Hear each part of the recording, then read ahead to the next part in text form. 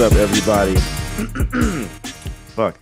Welcome to another episode of the Excellent Podcast. I'm your cinematic host, Stefon Whitaker, head honcho of SW Films. And today we have a very special guest on this very early morning, at least for me. Uh, we have someone who I've collaborated with a lot when I was living back in Indiana. She is such a trendsetter, such a hard worker, such a artist. And I'm so happy that I could have her on the podcast. A fun fact for everybody: she was actually the very first person and the only person to be uh to shoot the first few videos for No Sweat Pimp, believe it or not. And I have her on the podcast today to talk about all of the incredible and amazing things that she's done. She's came so far uh, from where I first knew her, where we first met. And I'm super excited to have Trinity Treft here today on the podcast. Trinity Treft, how are you doing? First and foremost, Man, how are you? I am amazing. Amazing. I love it. That's Things great. are I- going so great right now. I, I'm so happy to hear that. I'm glad that you're doing well. For everyone who's listening and watching on the podcast right now, I just woke up not too long ago. So uh, please ignore me looking kind of crazy or sounding crazy. But regardless, we are here on the podcast to interview Trinity. And uh, once again, thank you for being on the podcast today. Um, we have a lot of cool stuff to talk about. Specifically, our topic today is the mantra that I've seen you post a lot on social media. Nobody cares. Work harder. I, I definitely have questions for you on that specific mantra of yourself, how you got that, and what that means to you, um, and just everything about your business, Phocus Creations, Phocus Films, everything that's been going on for yourself. So I'm super excited to have you on here. But uh, don't let me tell about the excellence. You please speak to your excellence. Let everybody know who you are and what you do. Well, first, I want to thank you for asking me to hop on here real quick, Steph. It's been way too long since we've been able Oh, to yeah. connect.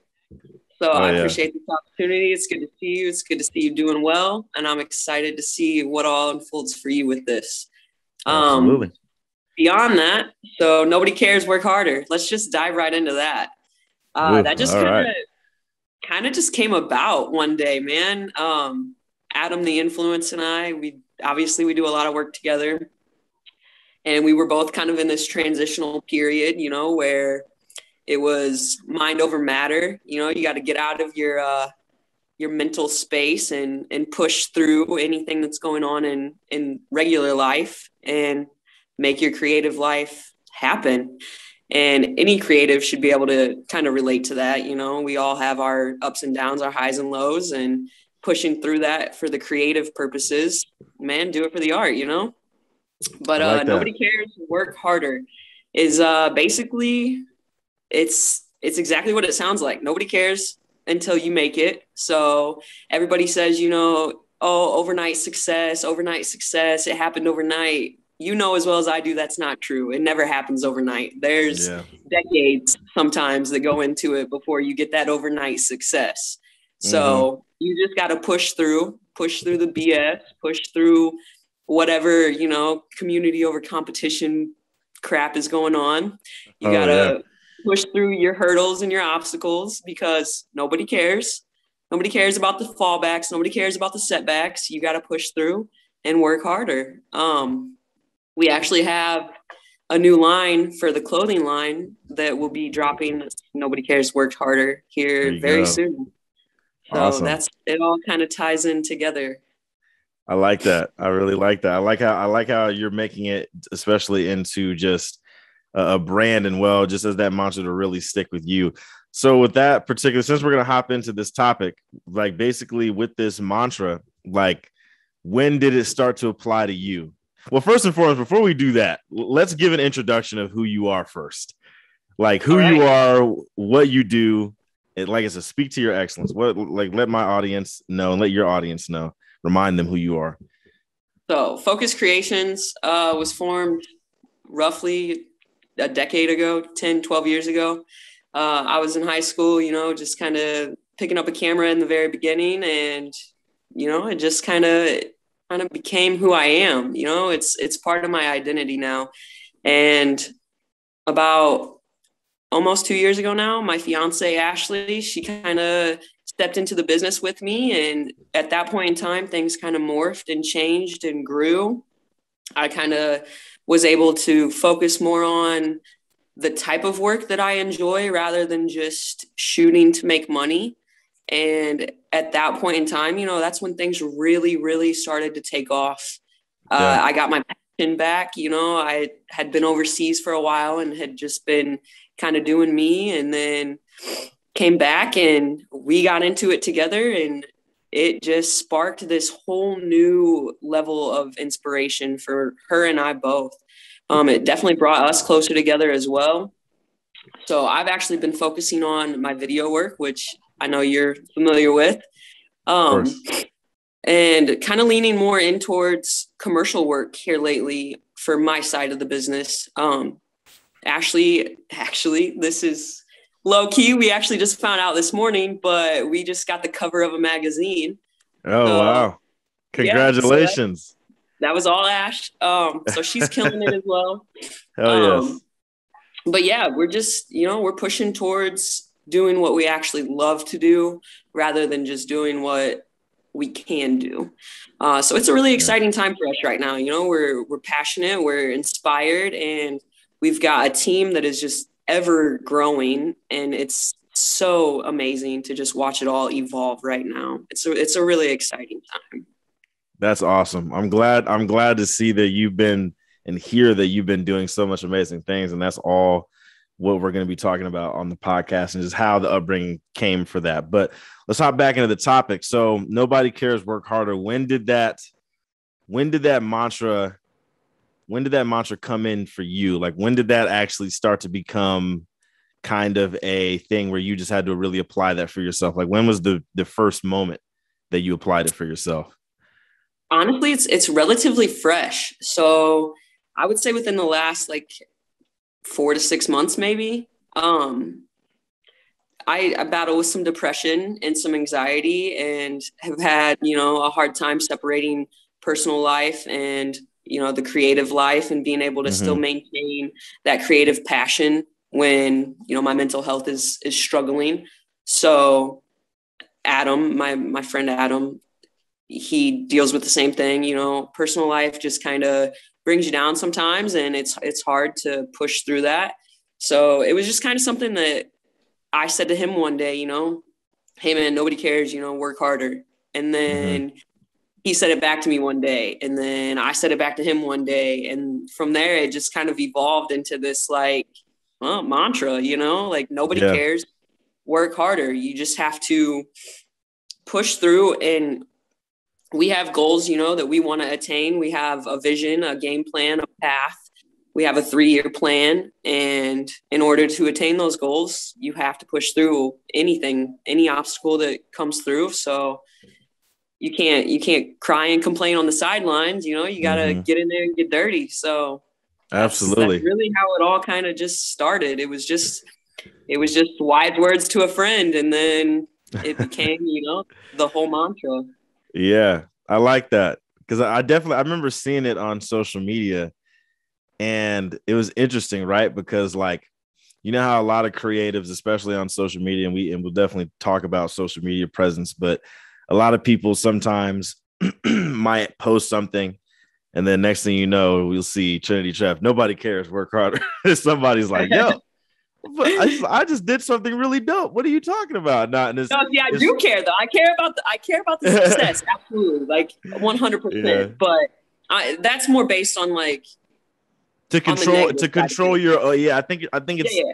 what what it means to me at least is it means like the idea, especially now that you bro- have broken it down, like more of the idea of like uh to kind of keep yourself in check, to keep yourself going. Cause you know, there's a lot of people who sometimes will stay with that one thing that they did and they will only talk about and cel- try to celebrate that one thing they've did and they haven't done anything else new and you know to me that's like that's not as a creative as an entrepreneur or whatever that's not that's not something that you should do like you know there, there's a there's this idea from uh fuck, what's his name? I'm forgetting.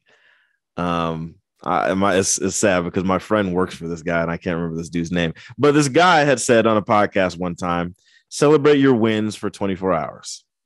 And I really like that because it's like, yeah, you know, I don't want to, you know, if I if I stay celebrating this one thing that I did for days or weeks or months or years, then it's like You lose sight.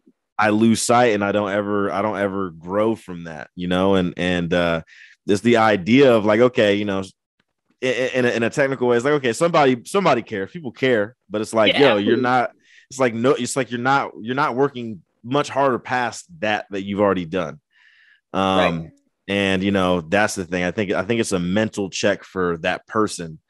Um, and that's kind of what I see from nobody cares work harder because it's like, yeah, man, you can't you can't get stuck you know, thinking that that one thing is is all you need or all all you know, it's just not that's just not how it's gonna go. So that's how I believe it too. Like, you know, that's how I look at it now too, especially after all the things that I've done recently. It's like, okay, great. You know, that now, you know, I definitely have celebrated, had fun, but now it's like, all right, let's move on to the next thing, the next big thing, or the next few things, especially what I've been thinking about that a lot recently for myself is is like, all right, you know, I got these few big projects that I was a part of. Now I got a few more that is coming out, and now it's like, okay, now I'm thinking about what's happening for the next year or two Exactly. uh, as far as like what to push out. So I, I love that. I love that mantra. Has there um with with that with the with the mantra nobody cares work harder and stuff like that like have you when you've posted it kind of back to that social media thing have when you've posted have people probably taken that wrong at all as far as on social You know, media? I, nobody's actually reached out or specifically said anything. Um, so if they have, I mean, if the shoe fits, wear it. You know what I mean? Like I'm at a place Yeah. right now where that's that's part of the mantra too. Like nobody cares, work harder kind of resonates with the whole idea of, you know, I'm not in competition with anyone. You know, Yeah. it's the only competition I have is who I was today or yesterday. You know, I just want to better myself every day. I want to educate myself every day. I want to continue to grow in my own craft and in my own field. Um, along with my team, you know, like I said, we're building a pretty, pretty astounding team right now. It's a lot of hands on deck, and we're just Yeah. continuing to build and grow. So, I mean, like, it's just like you said, it's a self check. It's not, it's not aimed or directed. It's not shots fired at, at anyone for any reason ever. Mhm. It's, it's just you know, here's the ceiling. What's next? How do you break through that ceiling? So, absolutely if, if anyone has taken it personal, I mean, that's that's That's behind what- the scenes. I have no idea. right. That's great. So all right, let's let's hop into the to the to the beginning. Let's go back to the start. How did you get into photography? How did you get into this entire creative space? Uh, honestly, there was two key elements to it. Um, when I was young, my mom traveled, and I did not live with her full time. So when I would go visit her, she would always be somewhere new. So I was always, you know, getting new culture and new experiences. Um, and that's kind of what started, you know, the camera in the hand. It was, you know, making memories and being able to save those moments. Um, and then, like I said, in high school, you know, I was on yearbook and all that good stuff. Uh, so that kind of started just, you know, the idea of the camera in my hand. Wait, you were taking photos of people in the yearbook? Oh yeah, dude. Yeah. Oh I- wow, that's cool. I never Yeah, knew that. That's dope. Yeah. How was that? Um, that was, you know, let's not talk about how my work was back then because it was very mediocre. Uh, but it was The growth, the growth is so important. The growth is huge. That's cool. That's cool that it like started from that. That's I, I like that. That's cool. Yeah. So, I mean, traveling obviously, you know, is a huge inspiration for me. Um, always has been a big part of who I am and how I perceive the world. And I think being able to do that with a camera in my hand just kind of gives a piece of me to everyone else, you know? Yeah. So that's started it. And then I just realized I could make a life out of this. You know, I love doing it. It is a sustainable life. And especially right now in this time and day, you know, entrepreneurs and creatives are heavier than ever. And although that does mean that there's a more dense industry, nobody Mhm. cares to work harder. You just got to push through. You, you, Right. you got to improve and be better and just keep going. Exactly. You have to individualize yourself and, and make yourself stand out. And especially in the photography world, though, that is that is tough. You know, um, photography is such a oversaturated market everywhere, I feel like, but we'll get to that soon. But as far as you individualizing yourself, you created focus, created Phocus Creations, focus with a ph. Everybody, focus with the fucking ph. All right, I I want to ask you how how did you become to create focus? So like you obviously talked about you know you um wanting to do this full time. Like before you really hopped into photography full time, was there ever any other interests that you had that you thought maybe you could compensate yourself from, or just maybe another creative interest before photography? Dude, no. Like it's yeah. always been the camera. I dabble in like writing a little bit, but nothing too serious. Never took it serious. Um, that's just kind of like a, a mental health thing for me. I'll just mm-hmm. write a little bit there. I'm not artistically inclined at all. I can't draw. I can't paint. I can't do any of that. Um, yeah. Well, no, not really. And the nine to five lifestyle just does not work with me. Like mm-hmm. I'm just, it, it's it's a no go for me. So yeah. the day you know that it kind of clicked that you can build a life with a camera in your hand, man, it was game over after that.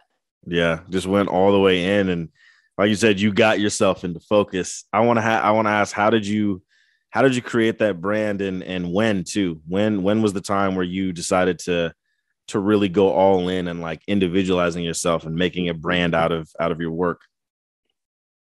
So I uh, started with photography only um, back in high school, and I was in yearbook, like I said, and started doing like some senior portraits for some of the people in my classes and things like that. And at that point in time, I formed the name in Phocus Photography, um, PH still for mm-hmm. focus. Mm. Um, and that was cool for a little while, you know, things were fine.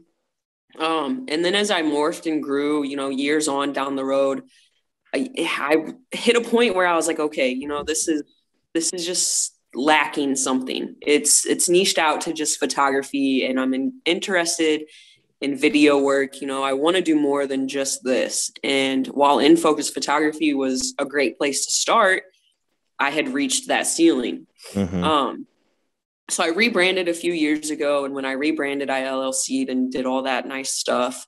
Um, and I wanted a company name that would be something I could branch out off and be able to have different different types of categories you know diversify the income yeah. so we have Phocus Creations is the company. And then obviously i have Phocus Films i have focus clothing co focus photography. We have a group on facebook for uh, boudoir clients that's called risque by Phocus Creations. Um, so Phocus Creations just kind of encompasses everything that we do. Uh, we create, you know, and we create right. with focus and with a purpose. So that's kind of how it morphed and grew and changed. Yeah, that's great. Yeah, you've added so much different kind of content to focus, you know, and and, and especially I think when we met, um, which I guess let me talk to the audience, let them know how we met first and foremost. So we met in 2017 and well, we had kind of knew about each other before then. I think we, yeah, I think I social media via social media. I knew about you. I think through when I was in film school, and then I came home, and I think at that time you were traveling. You were doing like a whole lot of traveling and stuff like that. You were, you were all over the place. I can remember Thailand to fucking Chernobyl, crazy shit, right? And um, yeah, 2017, I was like, yo um, I th- I, so I think I let you know I was like a, I'm starting SW Film, starting my own film production company, and I need some photos done to you know to kind of brand off this very beginning of SW Film. So for all of my listeners who already know me or new people, you know, um, if you check back on some of old SW film stuff on Facebook or Instagram, those photos. We I forget where we went to, but we went to some really dope ass place. I don't know if it was an. We went to some place that I definitely don't remember where the hell it's at, but it was a really cool place. And you know, basically gave me some, a photo shoot over there, and um, that's how we met. And then I think from there it just really kind of spiraled into you know we we meshed well creatively and then personally as well. And then it and then it came to where eventually No Sweat Pimp came around, and then we collaborated collaborated heavily on that. But um, at the time, yeah, at the time, I think I knew that you did. You had done video. I think even prior to us meeting, or yeah. before, yeah, before us actually meeting. Um, but but back that back then, I think maybe photography was like still like a heavy focus, a main Yeah, focus, obviously for you. Absolutely. Um, what what made you want to like shift into all of these different kinds of um brands? I mean, obviously, it might go into like you having uh, one just more interest in other things besides just photography. But did it almost become like a lucrative situation? Did you like? Did you f- kind of feel like financially there was better options or better uh, feel more weight? I feel like it was kind of 50 50. You know, I like to, I tell myself all the time, you know, you got to find ways to diversify the income. Um, and part of that is the oversaturation of the market, uh, especially here in a smaller, a smaller environment, smaller industry. Um, it's really dense here, as you very well know. Indiana, Uh, yeah. So diversify the income, you know, just find new avenues that you can create wealth through that same concept Mhm. um, is half of it, and the other half of it came into just kind of wanting to push myself still you know i'm really big on wanting to continue to grow you know if i'm not if i'm not pushing myself to learn something or to expand my horizons regularly then i feel like i'm letting my own self down as well Yeah. as you know my business um so it, it kind of falls into both of those categories you know? Um the video side of things i think was always there you know? I Mhm. started out just doing a little bit a little bit a little bit more. And now i feel like i probably personally do more video than i do photo work. I still love photography. That's still a huge passion of mine um, but the video work is more challenging for me right now you know it's pushing me to educate further it's pushing me to learn more and i personally thrive in that environment you know Mhm. Yeah, So, absolutely. i would say it comes down to those two things Yeah, and I think too now that you've also added more people into the into the business, like you kind of had like Ashley's been doing a lot of photography, like a lot more taking over that side. You know what I mean? I can see that, and I think that's definitely like a good just business idea of like you know you kind of it's like once you move over into that different space that you want to be in in the company, and you just kind of have someone else still helm over that space, so there's still lots of all that income is still coming in at the same time. Um, one thing I want to ask for you is the focus. Like I, I know it's besides it just being uh the name, like I know there has to be a, a certain kind of meaning for it for you, especially with the PH, maybe. Um, how did what does that focus mean for you? What made you want to like just besides the idea of a camera? Uh, what what does that really mean for you to be in focus? so obviously the ph comes from like photography because originally it was in Phocus Photography um, so that was just a little play on words there Mhm. um, but focus for me i mean honestly like it's kind of my identity now you know like will you will people come up to you in stores and be like, "Yo, it's focus"? They yeah hey you're key focused, right? And i'm like yeah man i am you know? Um, That's funny. but it's just it's a constant reminder you know? It's it's not just the creative life you know? There's so much that happens on a day to day and you have to be able to focus.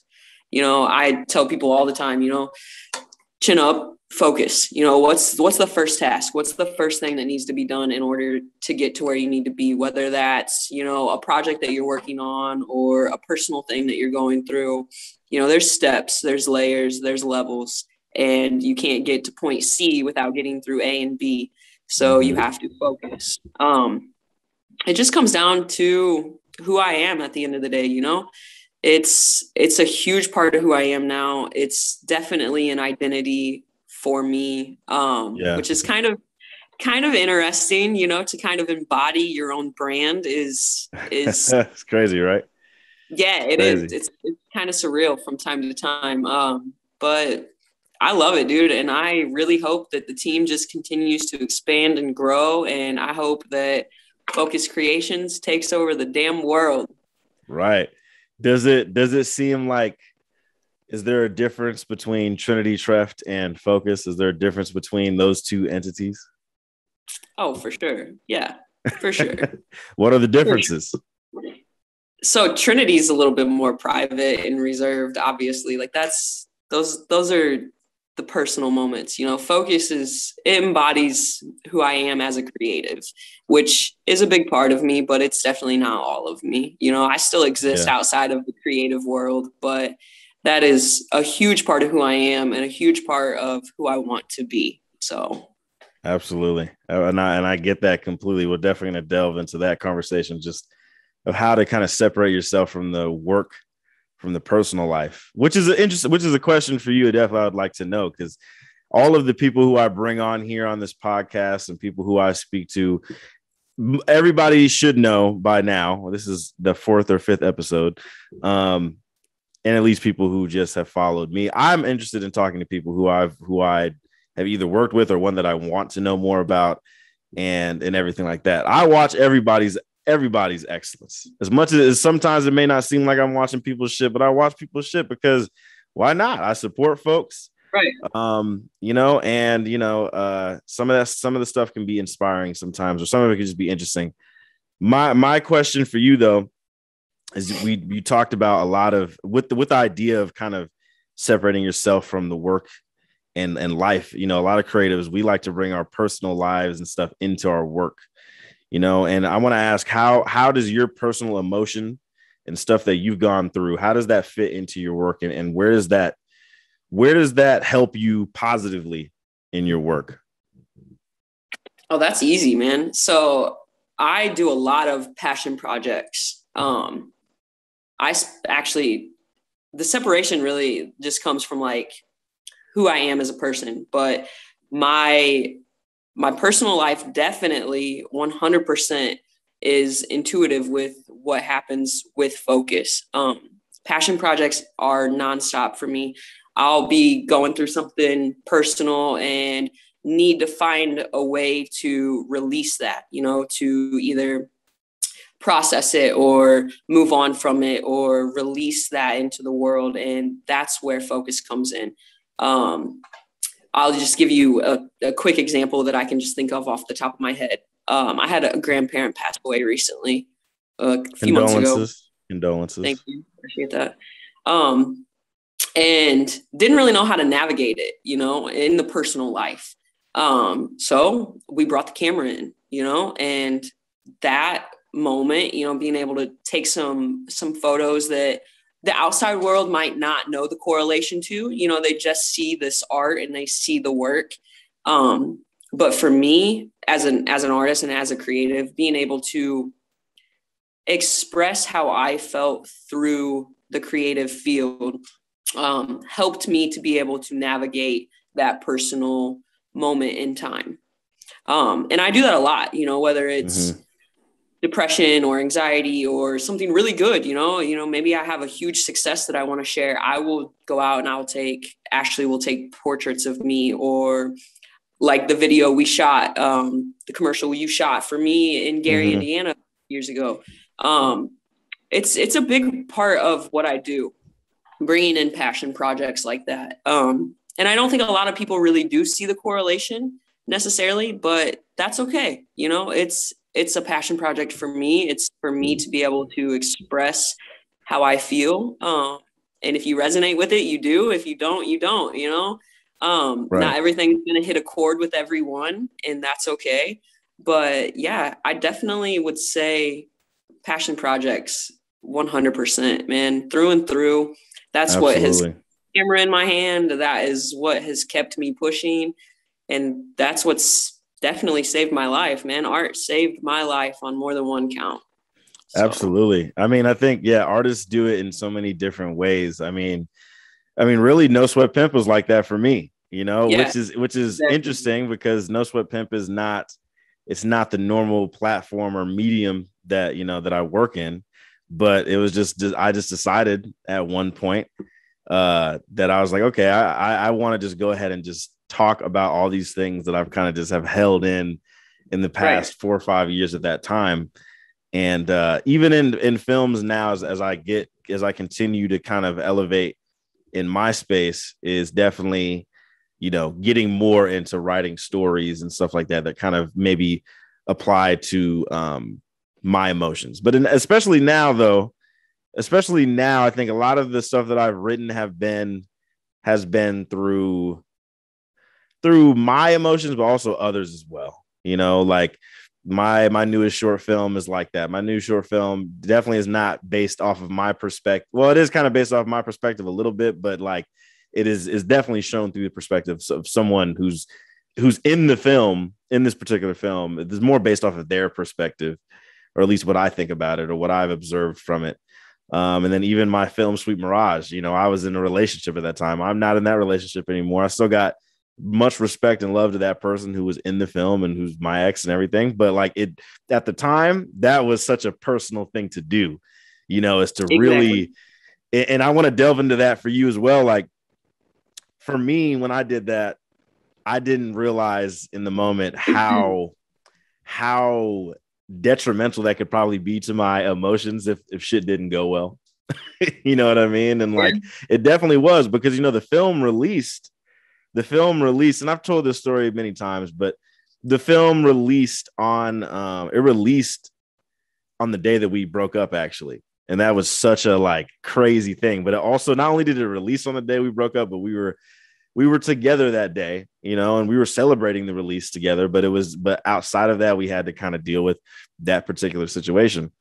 And you know this is this this podcast is my platform so i feel free to talk about whatever the fuck um, but like this that moment, it was such a it was such a sad and heavy moment for me at the time. Oh, now sure. now yeah. You know, now I've kind of I've gotten over it. You know, now now it's like, you know, I've had other things happen outside of that, and I had to really go through that lesson uh and everything and move up from it. But with that, I, I ask like, has there been some things that you've put into your work personally that maybe was maybe just a little too heavy for you to like not necessarily heavy for anyone else to deal with, you know, because like you said, not a lot of people will necessarily understand, you know, um, some of those things you might put in there. But do you think that sometimes some of the stuff that you put into your work personally have been maybe a little too it's a little bit too much weight to to bear for yourself, even to like look back at that work? Honestly, for me, I'm gonna say no. Uh, for me, it's usually like a really a really good healing tool. Um, mm-hmm. good, bad, or indifferent, you know, whatever the emotion or whatever the situation may be it doesn't really matter. Um, it's always been kind of a way for me to process and evolve through those stages or those phases or however you'd like to word it. Um, mm-hmm. But no, I like that I can look back and know, you know, that's who I was then, and this is what was going on, and this is what I learned from it, and this is how I grew. And if if you look at you know any of my work in order, you know you're you're going to see the growth just quality wise but you're going to see the growth as a person as well if you pay attention. Mm-hmm. um i'm i'm very raw and i'm very vulnerable and i'm not afraid to put myself into my work. Um so i'm not afraid you know to show the good bad and the ugly. Um and i think that that's important for creatives to be able to add that really finite personal touch into their work whether it's a passion project or a commercial project, you know, a paid project. Um, because art's supposed to make you feel something. So if you don't feel something mm-hmm. when you create it, how is anyone supposed to feel something when they witness it? Exactly. Absolutely. That's that's it's, it's, it's important. You know what I mean? I think I think I agree with you. I think it is very important for people to try to to put a little bit of themselves into their work, or at least take on something a little bit more passionately or personally. Um, absolutely. And I and I think that's I think it's it's it's it's always different how people do it in different mediums. You know what I mean? So like you've done a lot in photography, but now that you started to switch into into video as more of your specific focus, like have you found ways of how to kind of break into that, especially since you're doing a lot of client work um, with artists that you've like collaborated with? But have you kind of built ways off of doing that for videos too? Um, a little bit here and there. Yeah, it's still kind of a uh, a new medium for me. So kind of finding how to like do passion projects on that end or is still new. Um, but definitely with Adam, Adam the influence, uh, we he gives me 100% creative freedom. Um, which I love, man. That is working with an artist that you mesh well with and you can work well with that just literally gives you 100% freedom over how a project is going to come together. Mm-hmm. It's amazing because then I do get to have that moment where I can kind of feed my own energy into it and feed my own personal experiences into it as well. Um, and again, that's kind of where that nobody cares work harder kind of fell in is you know, I can sit here and I can be raw and vulnerable all day and I can put it out there in the world in the most creative ways possible. But at the end of the day, it's done, it's over with. And what's next? Exactly. Absolutely. Not true. So with um one one question I want to ask about the video side is like you had did uh video before we had met and then when we had met you were like mainly in in photography. I guess when you started out video, like you you must have took a, br- a break from it from a little for a little while yeah um interestingly enough my friend adam um he was really the only person i was working with at the time when i first started and it was just kind of like a hobby for me then it wasn't i wasn't trying to sell work really um i was just trying to decide if it was what i wanted to kind of continue to pursue at the time um, just kind of dabbling in it and trying to experience it for what it was while enjoying it. Mm-hmm. Um, and as soon as we kind of like reached this level where, you know, I was like, okay, yeah, I really like this. You know, I really think this is a move for me. Um, he had some really serious personal things go on and he needed to kind of step away from everything for a while. Mm-hmm. Um, so he actually stopped doing music for about four years. Um, mm-hmm both kind of stepped away for about four years. Um, him from music and me from video. I maintained my photography and traveling and all of that mm-hmm. other stuff. But I just kind of like hit pause on the video side of things. And then he came back into it and that kind of like reignited that spark for me. And then that was around the time that you kind of stepped into things and we did no sweat pimp and then I've had a couple other clients, you know, that have hit me up and I've built really good rapport with, really great relationships with. There's a couple people, Jacob Stover, he goes by purpose. Um, him and I just met this past year and we work tremendously well together. He's a great person for me to be able to get creative with also. Um, so there was yeah there was roughly like a four year kind of like hiatus from video work and it was a really interesting time for it to happen because like i said mm. i had just started just gotten into it and then we just hit pause and then yeah. when it kind of like naturally fell back into place it nothing i don't force anything. Like that's my big thing. If it doesn't feel natural and doesn't doesn't feel right then it's not going to work. So Absolutely. when it kind of all naturally kind of fell back into place, I mean, it just kind of it took off, man. I was ready, everyone around me was ready, all of the people that were involved on every project, anything that we were doing was just coming together so effortlessly. And mm-hmm. that's kind of what jumped me to mm-hmm. where we're at now, you know. Ashley was taking some portraits of me and kind of realized, you know, she really had a love for this as well. And she kind of took off on the photography stuff and I kind of took off on the video stuff and we just I don't it's been what 2 3 years almost now and it feels like it's maybe been 6 months man. Like it flew by and it was yeah. just all so effortless. Not that there wasn't a lot of work put in because yeah, trust me there's tons of work put in but like from a forcing it kind of stance it was just all really natural and it just it flowed so effortlessly. That's great. Yeah no nah, definitely because i would say well would you say when because around the time when i had asked you to do no sweat pimp uh the videos for him i think i think at that time you were maybe still just in photography would you yeah, say that, that was like was, right around the the beginning of like the rebirth, if you want getting to back it into it. Yeah. Would, would, would that have been a moment that kind of helped inspire and push to to start doing video again? Seth, hundred percent. No sweat pimp. Those, those pro- So yeah, definitely. When we when you and I collaborated on No Sweat Pimp, um, that was huge for me, man. That was like a really pivotal point in time for me.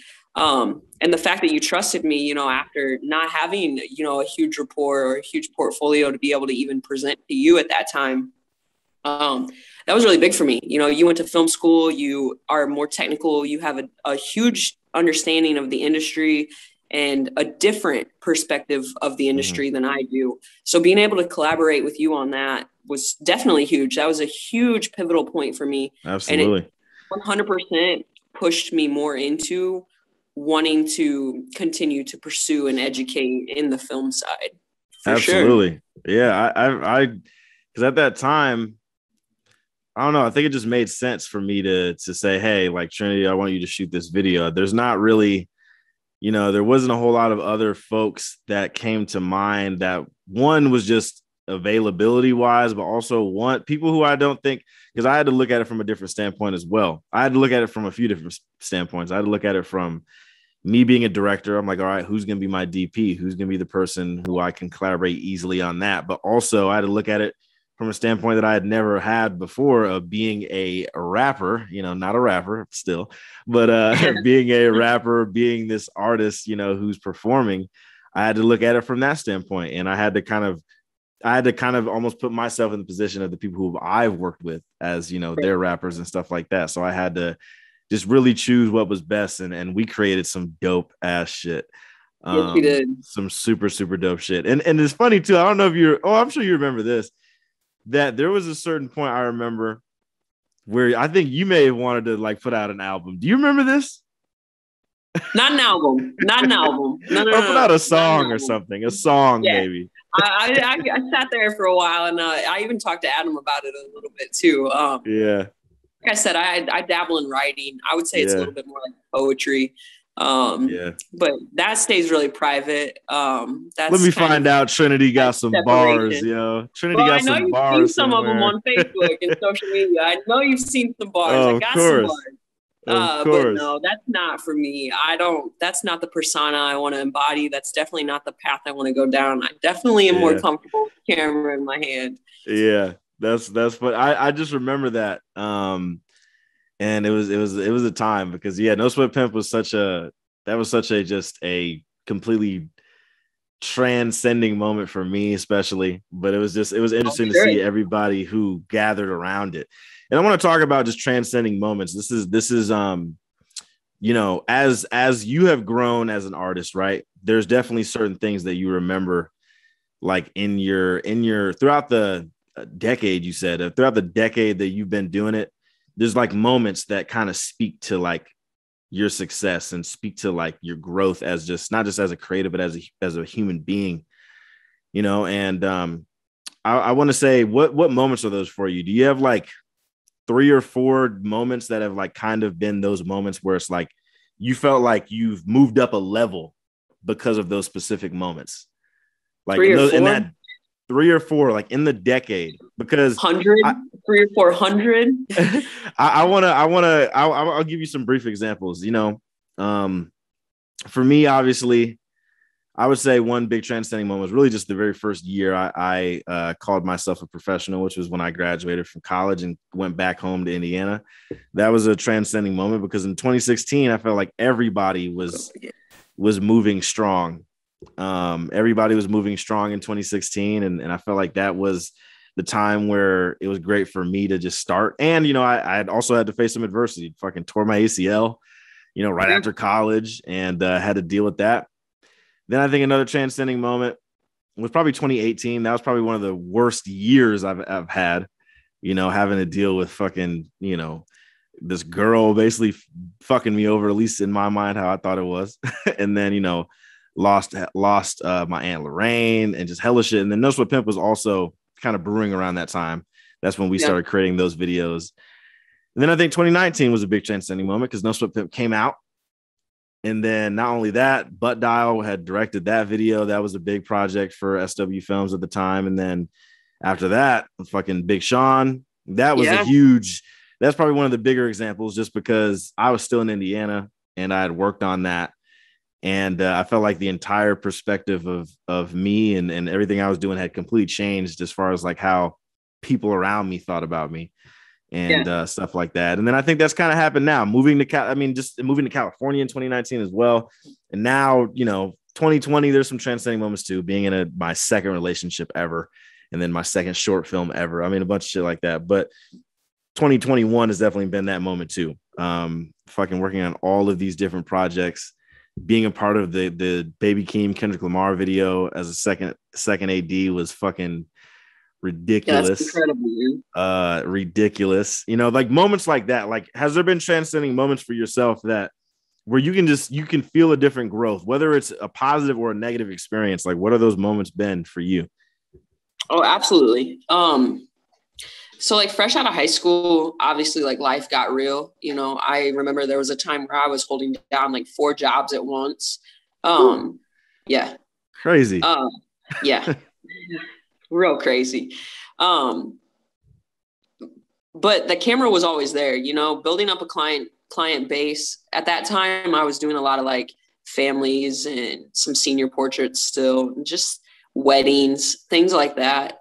And back then, you know, that kind of felt like success. You know, mm-hmm. okay, I've got I've got a client base. You know, I have a couple people that are consistent, that are return customers. Um, so back then, you know, that was definitely a moment where I was like, okay, cool. You know, I'm, I'm doing it. You know, I'm doing the damn thing. This is success.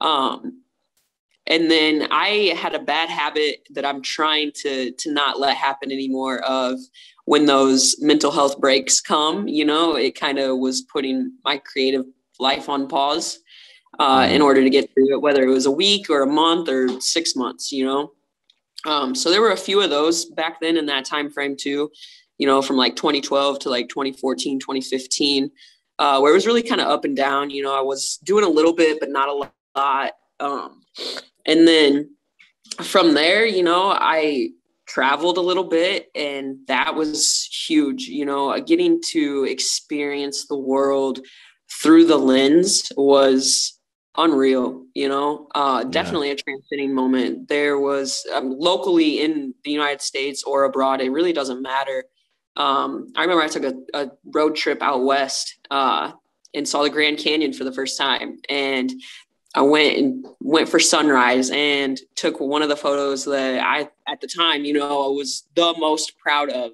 yeah. and that was a, a big moment for me. And then uh, traveling abroad, you know, going like you said, Chernobyl. I went to Chernobyl Crazy. twice, twice, uh, just because you know, like it was just so captivating for me. You know, I'm I'm huge on urbex. I love urban decay. I love when nature takes over what man has done. I just love the emotion that it evokes and being able to like capture that and share that was huge for me. Um yeah. And it was it was really surreal to actually like I I crossed a lot off my bucket list, man, and did it with the camera in my hand. And it was it was huge. It was such a transcending moment for me. Um, and I was going through a lot of personal stuff at the time, you know, so it was like kind of therapeutic as well to be able to like just shoot and focus on shooting, you know, these amazing places. Mm-hmm. Um, and then coming home from that, I kind of like had lost my entire clientele from being gone mm-hmm. for so long. So that yeah. was kind of like really hard to to deal with for a while. Um, but it kind of I think it was everything I needed because that was the moment when things kind of morphed and changed. You know, I realized that I could continue to shoot families and weddings and whatever, but it wasn't where my passion was. So mm-hmm. like yeah, I can shoot it. I can do an amazing family session for you, no problem, but I didn't have that like huge clientele base anymore. And I was okay with it, you know, like it made it a rough transition, but it was everything I needed because it it kind of forced me to reevaluate everything and kind of actually pursue what I love to do in the industry. And then Ashley came along and, you know, she really dove in headfirst and really has a passion for it as well. And she's still kind of in that phase of like you know what is her number one passion in the industry you know? And i think we've found that. I think we've kind of oh sorry narrowed that down. Um mm-hmm. and we're both like at a point right now where we are just full speed ahead in what we love to do. And it's right now is probably the most exciting time. Like in yeah. all 12, almost 13 years of me holding a camera in my hand now, I think right now is definitely, you know, like one of the big, big moments that I'm always going to look back on, like 20, 30 years down the road. Like right now is, is one of the biggest transcending moments. And it's just, it's kind of surreal to like be able to pull out of it and see it, mm-hmm. but also experience it firsthand. Yeah, you know, that's that's that's also beautiful. You know, especially the fact that you traveled to so many places. Like I remember uh, yeah, right when you had came back, I think you were coming back from traveling when when me and you had met and there was so much I remember you telling me about Chernobyl and, and everything. Uh I want to go into that space just a little bit. Like how when you when you went to travel, I, I guess what was the place that stood out the most to you, um, and that kind of like really delved into that therapeutic experience? Because when you traveled, right? I know you had traveled with your mom for a little bit, but you traveled by yourself for most of this stuff, right? Um, I was with my mom for a lot of it. My mom has traveled since I was really young. Um, yeah. so that's kind of always just been our relationship is traveling together, you know, whether it's in the States or abroad, it really doesn't matter. Um, mm-hmm. That's always how we've spent time together. That's always how life is just, that's like just the norm for my life, you know, for my family kind of arrangement. Um, so, I mean, all the way from like a young child, you know, traveling out to California for the first time, or, you know, going to Mexico when I was like 12 or 13, you know, going to Boston when the Red Sox won the World Series. Like, there were all these different moments in time and i owe a lot of who i am to traveling with my mom um, she definitely was the person that got me where i am with the camera in my hand and was she's an entrepreneur herself you know she's on like her third business right now um, she's currently living in Tbilisi, Georgia, and started a co-work, co-live right at the beginning of COVID, man. And oh, wow. she's killing it. She's killing it. Um, but yeah, uh, that specific trip, um, honestly, man, I don't know that there was like one place that stood out more than the other.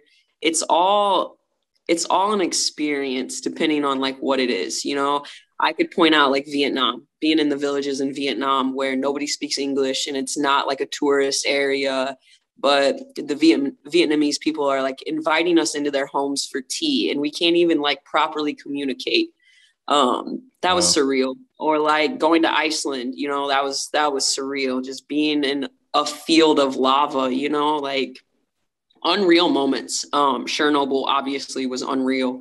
Um so many other so many other moments that i could list off but it's always therapeutic. You know i take traveling so heavily uh, for so many reasons. Um, the culture the food the experiences meeting people the opportunities that it creates for you as an individual. It's all therapeutic man especially when you're able to do it and create art. Yeah absolutely. I mean i, I definitely i feel like i've traveled uh i've definitely never traveled outside of the country. I need to do that. I have a yeah. I have a passport application somewhere in my desk back here but um, i need to fill that shit out. But um yeah traveling is so big especially even just in the states too. I mean there's so many crazy and beautiful things that a lot of people don't realize you know in the states um, but um, well, coming from the Midwest, I think it's really uh, it's really bizarre how many people like are confined to the Midwest. You know, their whole lives. Like how many yeah. people have never seen the ocean or never been in the mountains? You know, like people yeah. really do take granted our nation. Our nation's amazing. It's beautiful. It's so diverse. There is so much to it. And I yeah. say this to anyone listening travel, even if it's just two states over, like get out and go do it because I promise you it's worth it. Yeah, no, 1000%. I mean, that, that goes into something, um, because I understand that for sure. I think, you know, I saw something on, on Facebook the other day that was, it was a very interesting topic or a very interesting, interesting question is, um, let me see if I can find it, but basically it said, the person had said that Indiana is not the reason or do you believe that Indiana is the reason that you're like stuck to something yeah, or whatever? I know what you're talking about. I saw that as well. Yeah, and I was like, um, let me see if I can find the and exact. It's not quote. the reason you're uh, unsuccessful or something like that. Yeah, yeah, I can't find the quote. This person be posting too much random ass shit. But anyway, I had seen that. I had seen that and I, and I thought that was interesting. And I'm like, and I agree with it. I agree with it in a way because, you know, when I went back home, you know, Angola, Indiana was is, it has no market for the shit that I wanted to do. So I no. had to create everything on my own. And of course, it led me into Fort Wayne, which naturally that was the case. You know, Fort Wayne is also home for me. I was born there, got family there, had a lot of clients there, whatever. So, but Fort Wayne, I also believe is not, it's, it's, it doesn't have the market that it wants to have, you know? So, like, um, at least a successful market. Let me just say that in, in video. Um, but specifically though, I was just like, uh, yeah, I, I was like, I agree with that because a lot of people, get this small town mentality. And J. Cole was the one that said it. I remember at a, at a concert, he just talked about the small town mentality, how people are so afraid to go outside of those bounds that they're living in, those boundaries that they're in, and they're afraid to go out of it because the side it's the fear of the unknown, you know. And I and I don't know why people have that fear so much. Like a lot of people in Indiana probably, and I don't know. I mean, like a few people, but then uh, some, you know, probably not. Some people probably look may look at me weird just because I decided to move to, to California. But it's like my thing is this, right?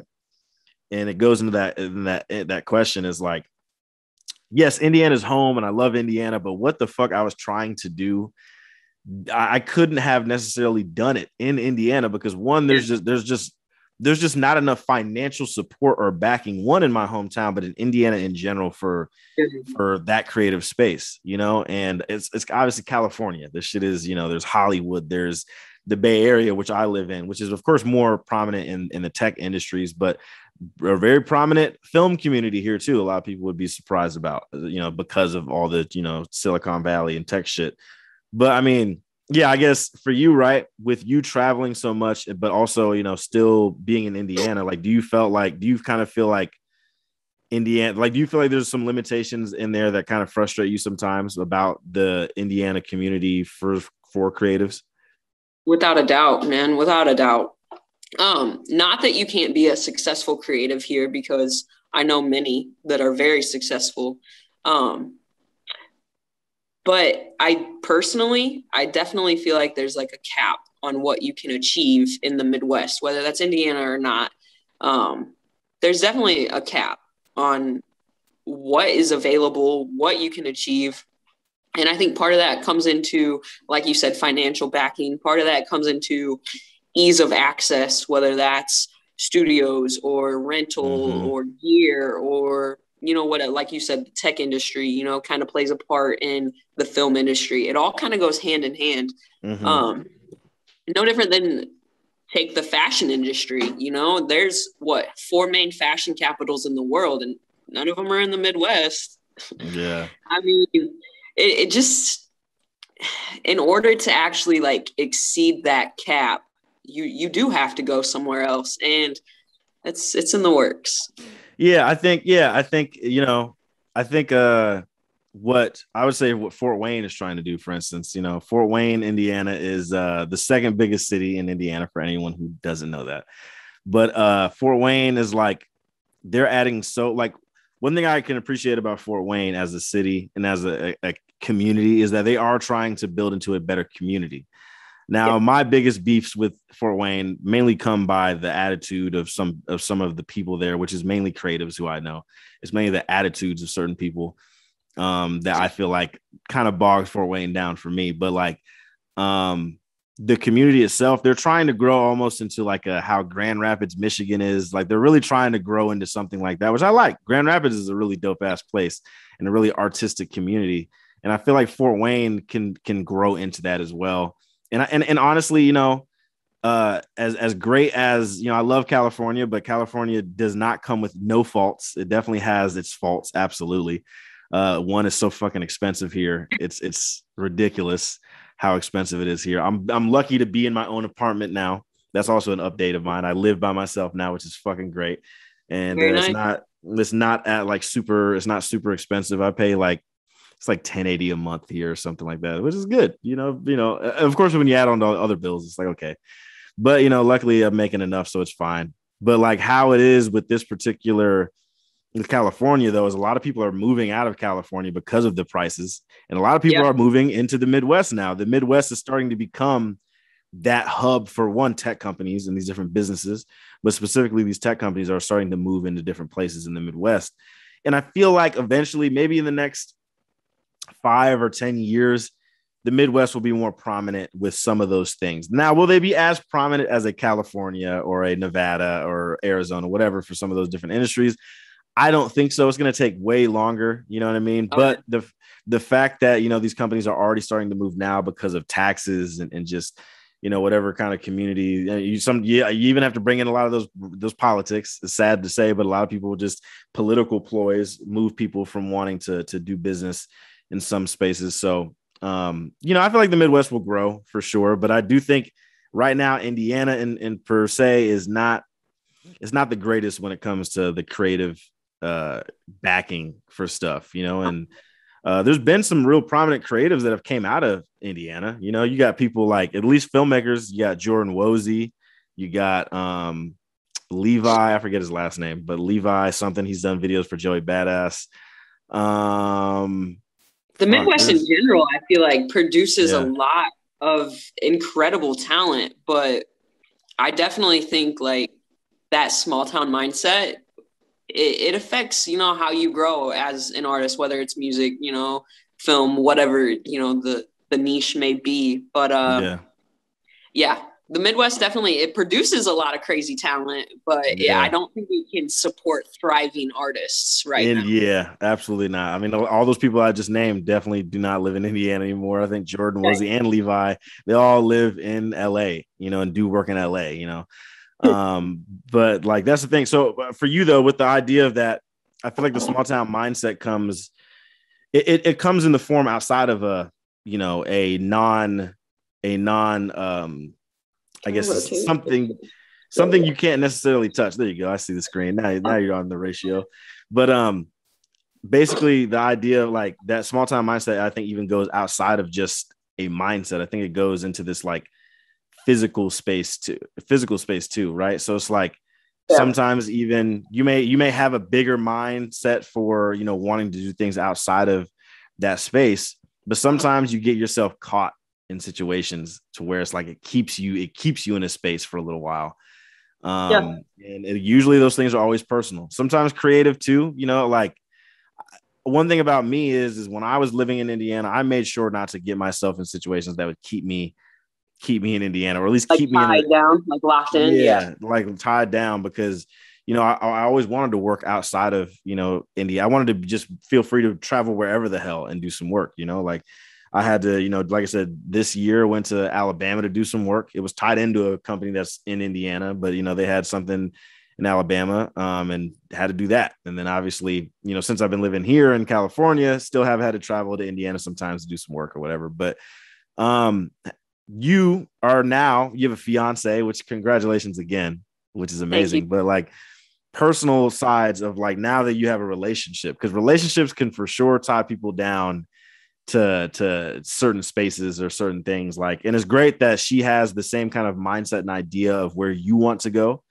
Um, but did but would you say that was kind of like getting in a in a relationship kind of is, is also one of those things that may have kind of at least keep you it kept you in Indiana for now? Um, not necessarily, honestly. Um, there's a lot that like goes on behind the scenes, clearly, like in everyone's life. but we kind of have a game plan. Uh, we've got a three year plan in the works. I'm not gonna speak too much on it because it's, it's definitely yeah. kind of low key right now. Um, excuse me. But uh, we we have a clear path and a clear vision on what we want from our lives and mm-hmm. it's very much in tune with one another. And i couldn't have couldn't have asked the universe to send me anyone better you know? A she is into the creative life like i am you know? She yeah. picked up the camera and she picked it up effortlessly. You know she's she's passionate about it. She she wants the same things out of life as i do. Uh so honestly i think rather the opposite of what you're asking me. You know, it's mm-hmm. it's not a a hold back. It's definitely a driving force forward and out of. Yeah, no, that's good. That's town. great. Yeah, absolutely. Because it's relationships are tough to tough to to to do, you know, and especially when when like yourself is already such a a armor plated individual mindset you know like it's tough like for me i feel like this year i've had so many i don't want to say flings but like kind of flings and uh you know none of none of them have really stuck mainly because i'm just one i don't i i i lose interest in people very quickly um yeah. i lose interest in people you know because my the only thing i've always cared about i don't say always because then I sound like a, an asshole. But truthfully, the only thing that I've cared about for the last eight years of my life has been this career, has been this this this career path. Like, you know, that's that's really it. You know, I, I of course, you know, I I do it all for reasons that are way beyond me, more than myself. You know, my family, uh, you know, and uh, friends as well. Just wanting to, you know, uh, inspire people from my hometown you know, like even though like Angola, right? Like you live in Kendallville, I think, or in that area, Auburn, Kendallville areas. Like, you know, those small towns, people people had talk shit about small towns all the time.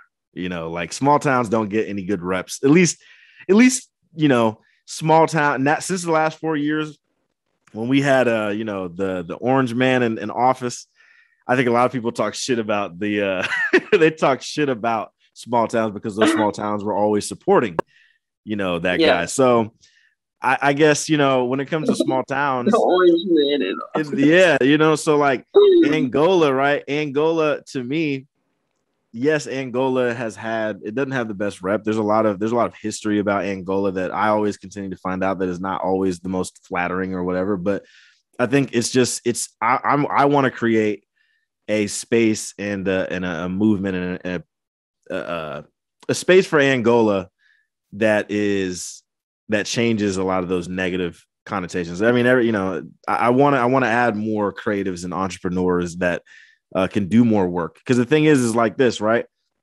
For our small towns in Indiana in itself to even get remotely anywhere close to these types of industries, you know, creatively like a California or Atlanta or any of these kind of places, Georgia, whatever, is we have like someone has to impl- help implement these things and you know it's it's very rare that sometimes someone outside of it is going to do it. Like even though these tech companies are moving to these and maybe that's maybe i'm wrong on that. Maybe i think the tech companies when they move to these different places they add a whole lot of you know a, I guess they boost up economy in some ways you know what i mean? Like when when uh, Tesla eventually fully gets their shit going in Austin, Texas. And Austin, Texas already has a ridiculously huge industry creatively and, you know, in the tech space too, a little bit. But Tesla's going to add so much more because it's fucking Tesla. Absolutely. That, that would be like Apple, you know, which is based in Cupertino, which is in Silicon Valley. That's, you know, not too far from where I live at. Like, if they move to Indianapolis, Indianapolis economy is about to explode explode. Yes. You know what I mean? If they move to imagine this is extreme, but imagine they moved to Kendallville. imagine if the Apple Park moved to Kendallville, Indiana. I just want anybody who's listening or watching this to go look up Kendallville, Indiana, right? if Apple moved there, population, there would be no meth in Kendallville ever again. Uh, not just playing, but like, like the thing is, is uh yeah i think we have to implement those you know? So i'm sure for yourself with starting your brand like you've added more people into your brand. And i, and I want to get into those people like who who besides you and ashley who else is a part of Phocus Creations? Um so it's it's still morphine it's still growing. Um ultimately Phocus Creations is going to embody an entire production company. So at the end of the day when it's all said and done you know when i retire at whatever age, you know, I want to to be able to to have something that doesn't expire with me. You know? Mm-hmm. Um so it's like you said it's more than just it's me. It's not it's it's not just me. It's not just today, you know. The ultimate goal is to actually be able to build something that is going to be long lasting, you know, that's going to employ people, that's going to inspire people um right now we're slowly adding in you know there's just a few new hands on deck. Um, we have a an on deck uh, hair and makeup artist that primarily works with like the the risque side of things. Um, does a lot of work with ashley. They're very close. I'm uh including um, mm-hmm. her husband as well. Um, his kind of he's a techie kind of guy. Um, he's kind of still trying to figure out what he enjoys doing, you know, where he wants to be at in the business. Um, mm-hmm. But he's probably going to be a little bit more on the video side of things with me, uh, whether that's, you know, becoming a color grader or an editor or a steady cam op or whatever that may be. Uh, we have yet mm-hmm. to define that role for him. But, you know, it's just, it's all kind of morphing and growing to embody that whole thing of you know, I want Phocus Creations to be bigger than Trinity, you know, so that's that's the ultimate goal is it's going to be something that I hope, you know, is everlasting. You know, I hope that anyone from the Midwest or, you know, wherever, you know, is able to reach out and feel comfortable reaching out, you know, and wanting to join and wanting to expand and grow and learn but more than that i want it to be something that like you said you know can can kind of put indiana on the map not necessarily yeah. Kendallville or Angola or a specific mm-hmm. town, but you know, the Midwest, like I said, we we produce so many amazingly talented individuals, you know, whether it's music or commercial work or whatever, you know, whatever the industry may be. Um, the Midwest produces so much talent. Mm-hmm. And the idea that you have to leave the Midwest to be successful, um, although I don't disagree with that concept, um, it, it could become dated, you know, like you said, you know, there is the potential that, you know, Indiana or Ohio or Michigan, whatever, could really Absolutely. become a. It's it's the potential is there. The the artists are here. They reside here. They are formed and morphed and grown right here, you know, between a cornfield and a hayfield. You know, that's that's where we were born and raised, yeah. and that's part of who we are as creatives. Um, so ultimately, man, the goal is just it's to be able to like have something everlasting that affects people for generations. You know, that can help people grow. Absolutely, with with the team that you have growing, um, you know, because I think one thing for myself that is SW Films, of course, is just me. It has been me for the past. It'll be, I want to say four years now that I. 4 I've, years, yeah. Oh my god, that's kind of wild to think about. But like, you know, um, I definitely want to bring on people to the company. You know, but of course, I guess my thing, reason why I haven't done it is one, I want to, I want to give something uh, great to, you know, to bring a group of people into. I want to, I want to have a more, uh a, a more sound like how do I say it? a more sound structure for SW films and just the things that yeah. have happened. So when you find these people, I mean, obviously it, it kind of is based off of more of like a personal relationship beforehand, I would assume. Um, right now, yeah, some of them I would say definitely more personal, but again, it kind of falls back to that like natural flow. Um, nothing's been forced. You know, it was never like, hey, I really need somebody to do this. You want to just do that for me? Um, it's kind of just been like really natural evolution, you know, and and that's how I want it to continue to grow. I want it to just morph on its own and grow on its own. And I want the right people in the right seats. And in order to mm-hmm. get there, you I personally, oh shit, sorry. I personally really like the fact that, you know, we are still really low budget. We're still really, you know, small on the totem pole, so to speak. Mm-hmm. But the bigger we grow, you know, I like that we're going to do it as a team. You know, I really truly believe in some of the people that are involved right now. And I really truly believe that the more hands we have on deck that are passionate about it, the quicker that evolution is going to naturally kind of take place.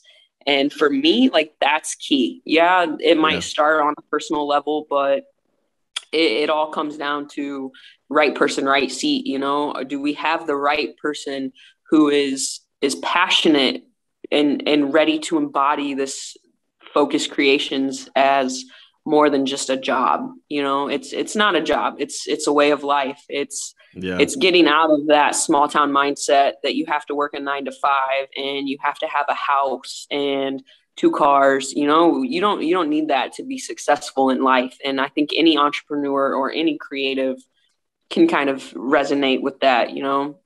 Um, travel has probably really played a part in how i perceive all that. Yeah. Um yeah, I'm excited to to bring more people in and you know i'm i'm open to anybody anybody you know whether you currently have kind of like a rapport under your belt or not. I mean if you have the passion and the drive you got a seat at the table for me. Yeah. Have you uh have you seen there's this video i think it was on tiktok. I don't know if you're an avid tiktoker. I am not. I just i have it downloaded on my phone because shout out to my friend Kylie. She thinks that I need to get on TikTok, and I'm just like, I don't know why. Uh, well, I'm not saying I don't know why. TikTok is is a very good platform, I guess. But like, there's this video of uh, this kid. He's like 22 years old, and he goes up to Logan Paul, and he tries to. He says that he quit his job. I don't know if you've seen this video, but he quit his job, drove all the way to I would assume L.A. where Logan Paul is. You know, Logan Paul and them is from Ohio, but the kid was from Ohio. Quit his job, said he doesn't have any friends, said he's not close to his family, and goes up to Logan and say, "Yo, I want to work with you." And you know, Logan's kind of like questioning him in a way, and he's like, uh, he's like, man, he's like, well, what are you good at? The kid says, I don't nothing I don't really, know. I don't know. and uh, literally, like Logan kind of just tells him, like, nah, man, like you know, he just kind of denies him, you know, but in a way that was you know, I don't I don't fuck with the Paul brothers at all. But you know, but Logan yeah. did that in a way though that I kind of respected because he was like, "You're gonna you're gonna come up to me asking for a job. But what the fuck are you good at?" And then when you say nothing, then how do you how do you expect me to like want to offer you a position? Imagine that. Put yourself in that position where someone someone quit their job in Kendallville. You know, they quit their job working at Rural King or something, and uh, they went. they went to you and said, Yo, Trinity, I've been seeing everything you've been doing. You've been working with these different magazines, like with these different artists, these different companies. I want to work with you. And they ask you the, the same thing. You ask him, What the hell are you good at? And he says, Nothing really. But would you hire that person? Like, would you would you put yourself? I mean, honestly, like if if they have the passion, you know, like like I said, I'm 12 going on 13 years deep into this, and it's it, very important for me to continue to to learn and grow on a day to day basis. You know, so that's you can't teach that. You can't teach um drive. Passion. You know, you can't teach passion right. and you, drive. You can't yeah. teach that. So if if somebody has that at the end of the day, man, like you have a seat at my table. If you have a driving force inside of you that says this is what I want to do and I'm willing to take whatever you know whatever compromises whatever whatever i need to do to be able to to, to make it there. If you have that kind of mindset then absolutely you have a seat at my table. I have so much that i try to juggle by myself that having more people on board could only make things easier especially if they're the right type of person and for me at the end of the day like i want a huge team i want to be able to build something that is larger than life, you know, that that isn't just a one man gig, you know. And mm-hmm. I think mm-hmm. Ashley was a really pivotal role in that, you know, actually like opening opening me up to the idea that you don't have to do it alone. You don't have to do it all by yourself. And having the right people around you um, can really kind of make things kind of take off more naturally and a little bit faster. Mm-hmm. So yeah, absolutely. If someone quit their job at Rural King and came up to me with no skill, no talent, um, I can I can teach you technical things. I can teach you skills. You can you can educate yourself on any of that. You know, YouTube yeah. University is huge. Uh, but yeah. it, it comes down to to having the right person. And to be the right person, you just you gotta want it. You gotta eat, sleep, and breathe it. And right now we've got a couple of those and I'm I'm ready for some more. You know, I'm ready to build Phocus Creations into something that the Midwest has never seen. And in order to do that, it's it's going to take a, a hefty little team, and I'm ready, man. It's it's in motion. It's on its way. Mm-hmm. Absolutely, yeah. That's great. You can't teach you can't teach passion, but you can teach you can teach all the other stuff. That's right. That's true. And I think even just at the sizes of, of our different companies, I, I'd probably say the same thing too. You know, now that particular kid, you know, he had said that, you know, he, he had heard Logan Paul say he makes like three million a year or some crazy number. And then that kid says, Well, I make a hundred thousand dollars a year, but he still wanted to go work with Logan Paul. I mean, there's some commendable things there. You know, I, th- I think it's I think how Logan responded was was right though. You know, especially when you're making such a big risk like that to to lose, you know, to quit whatever job it was that you were doing where you were making a hundred thousand a year. I would assume that was the thing that he was talking about. To then, you know, wanting to work with, you know, this this fucking YouTube celebrity. Um, there has to be some proper thought, I guess, put Yeah, together for that. But I, I, Yeah. I would, I would say, yeah, too. I would say, yeah, I'd probably invite that person in. It depends on who that person is because you know, one thing that I realize about individuals who want to get into this industry is that they look at they look at what's the the shining examples uh, the uh, first and foremost, right? They look at like the the the award the rewards that you know people have have gotten from working in these industries, you know, the the cars, the clothes, the hose, all that kind of shit, right? And uh the thing is is like a lot of people only look at that and they don't understand that this is this has to be a life commitment. Exactly. I have made it. I have made it a. You know, I've said it on my album, and I've said it in, in other podcasts that I've been a part of, and I'll say it here on my own fucking podcast. Is like this is some shit I would die for. There's no other option for me. There's not a plan B. to- there's not a plan B. There's No. never been a plan B. Like this has always been plan A. Everything that I do in my life, whether I quote unquote pivot off of my path for a second, it's all a part of plan A. There is no plan B. This podcast is not plan B. This is all in this is an SW Films property. So this is this is all in plan A. So, you know, a lot of people who I've mentored, you know, they've wanted to uh they wanted to be actors, models, you know, photographers, whatever.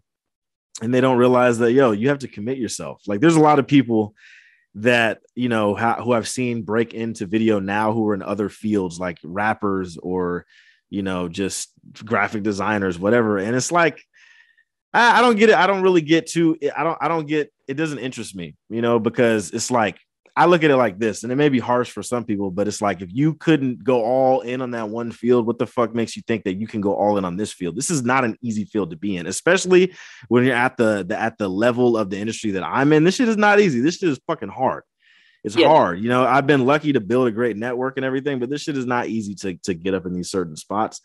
And, you know, it's, it takes a lot of time. It takes a lot of investment. It takes a lot of, you know, unrealistic scenarios and realistic scenarios to, to, to really get where you want to be. And I think that breaks me off into, into the idea now of just the community that, um, the communities of these different type of industries that we're in. Right. So photography for you, like I said, photography is such an oversaturated saturated industry, right? And I'm sure when a lot of people, I'm sure like one thing that you had said that I've always loved the I've always loved that particular that particular term of community over competition. Um, I want you to explain that to me and explain that to the audience. Like, what what does that mean for you, community over competition? So personally, for me, like I don't harm myself by helping anyone else. You know, um, I've said it before. I'll say it again. The only competition I'm in is myself. You know, I want to continue to grow and educate and and expand my own horizons. And if you succeed in what you're doing, that doesn't hurt me. If you have Mhm. three times the clientele base that I have, that does not hurt me because who's to say that your clients are the right clients for me anyways you know um it comes down to a lot of different kind of bits and pieces but at the end of the day you know helping someone who is also in the same industry or the same field as i am in is never going to hinder what i am capable of doing um in fact i tr- i truly believe that helping other people grow is only going to help me grow. I mean, you've done mentorships, you've you've kind of had firsthand experience on how that works. You get to kind of break it down again and kind of like almost relearn some things, you know, when you're when you're mentoring or helping somebody else grow. Um, and at the end of the day, you know, as a as a creative industry and as a creative community, it, it does take some collaboration. You know, if you'd have never reached out to me, who's to say that I would be where I'm at today? You know, you you don't know what could happen. Um, yeah. I'm I'm not opposed to working with anybody, no matter what the field is, no matter what the industry is. I don't think I'm better than anybody. I don't see anybody in the entire universe as my direct competition.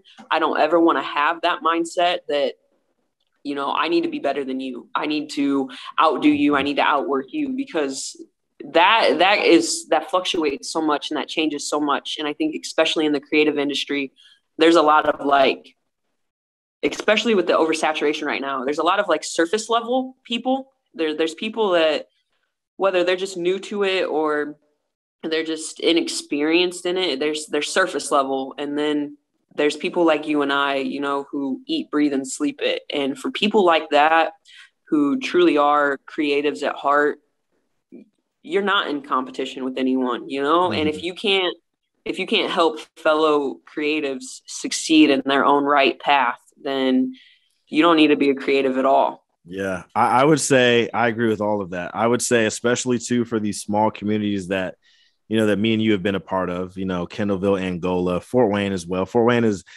Fort yeah. Wayne seems, you know, Fort Wayne is uh second biggest city, but it's not like it's it's. Still, I think Fort Wayne small community. It's still a very small community, very very small. Like the Bay Area in general, like you know, you can put San Francisco in one or Oakland, but really, I think the whole entire Bay Area. A lot of people just put it in one. I think in the creative community, I would put it in one.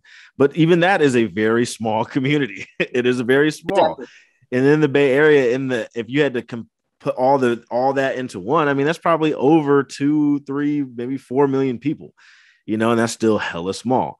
Um, yeah, but like absolutely. I would agree, but I, I would also say this, right? I would also say that the the community aspect, the collaboration aspect, I think one is very important in those small places because at the same time, if you don't collaborate with these people and you just kind of stick to yourself um, or stick to wanting to be malicious towards other people and everything, it, it it doesn't really help the community grow in in its in its uh in just the just the unity when it comes to like helping create an actual creative space and a creative community for that place. It doesn't help when when there's nothing but competition. But at the very same time, I think competition is super super healthy. I agree. I could not agree more it's super super healthy because we need that because especially when when like these creative these small communities usually get oversaturated the quickest right um most times i would say but like for example fort wayne there are so many fucking photographers in fort wayne. I could throw a nickel in that motherfucker and it, it's gonna land on somebody's on somebody's camera you know? And you know like that's why i always appreciated your work because I, I like photography is one of those things that it is the it is people think it's easy to do, so everybody wants to try to be a photographer, and that has always annoyed me. You know that everybody just think it's easy to do and just pick up a camera and, and everything, and they don't realize the technical shit or how to actually really go like to make an image speak to you instead of just posting a, you know taking a picture of something and you know ugly ass uh fucking highlights and just nasty looking ass things right but like I appreciated your work because one, it felt like there was there felt like there was emotion in the work. You could just tell, you know what I mean?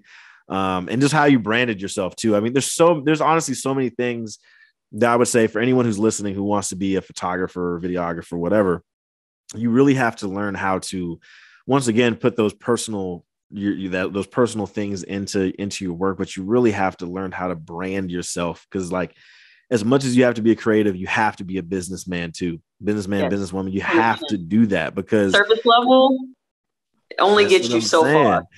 And the niche too, right? The niches are very are very big too because and I think in photography, I feel like the niches in photography kind of like stick out the most, right? There's a lot of people who are strictly wedding wedding photographers. You know, wedding businesses wedding, all that kind of shit is, you know, it, it is pretty big business, we'll call it, because, you know, weddings happen all the time and love is great and all this kind of shit. And people can make, you know, pretty good money off of wedding videos. Like I had a, I had a teacher in film school who I remember who had a wedding business, wedding video business. And that motherfucker would make a lot of money just off of one wedding, like 10 grand, you know, maybe just him and one other person. Absolutely.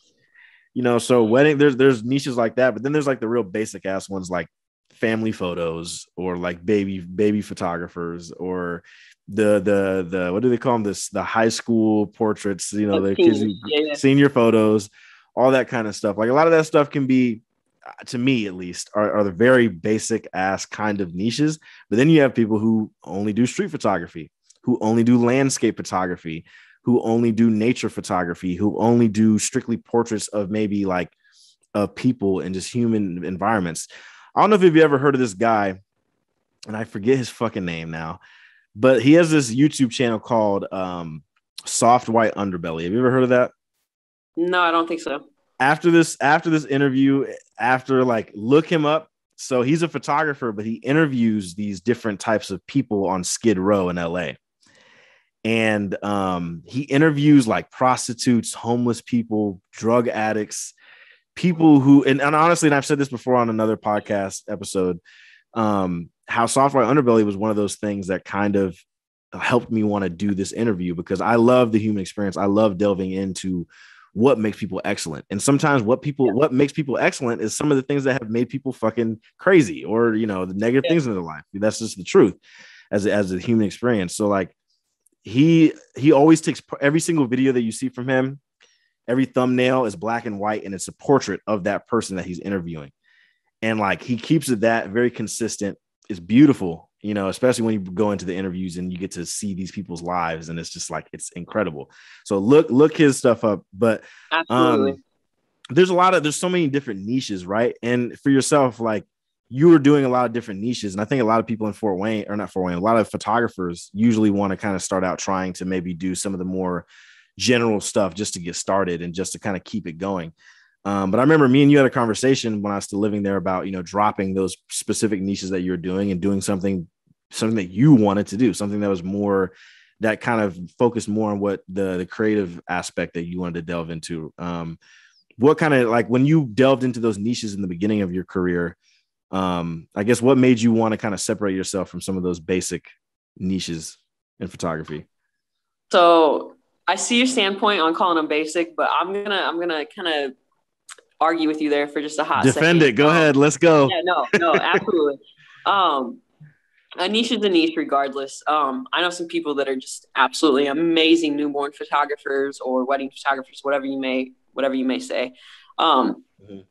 For me, it wasn't like a feeling of it just being like simple and basic. You know, um, I definitely understand where you're coming from. I definitely mm-hmm. don't 100% disagree.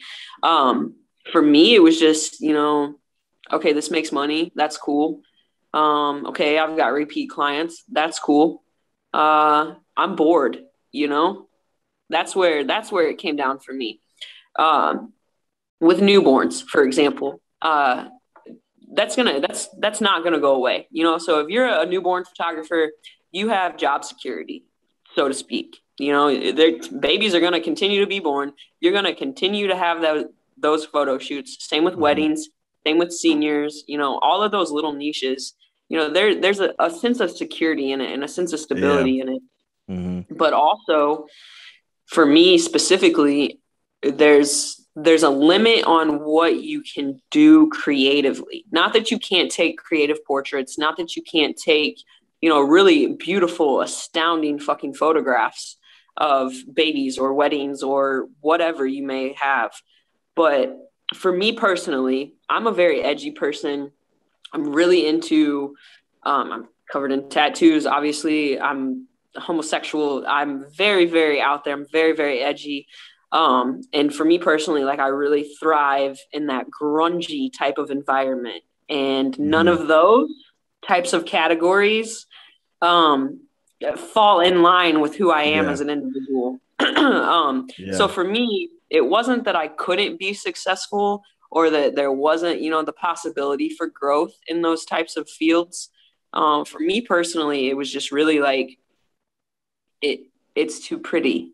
It's too soft. It's not enough of that personal injection into the art. You know, like I can take a family of six and go take a beautiful portrait of them that they're going to hang on their wall and they're going to look at for 20 years and they are going to love it every time they see it.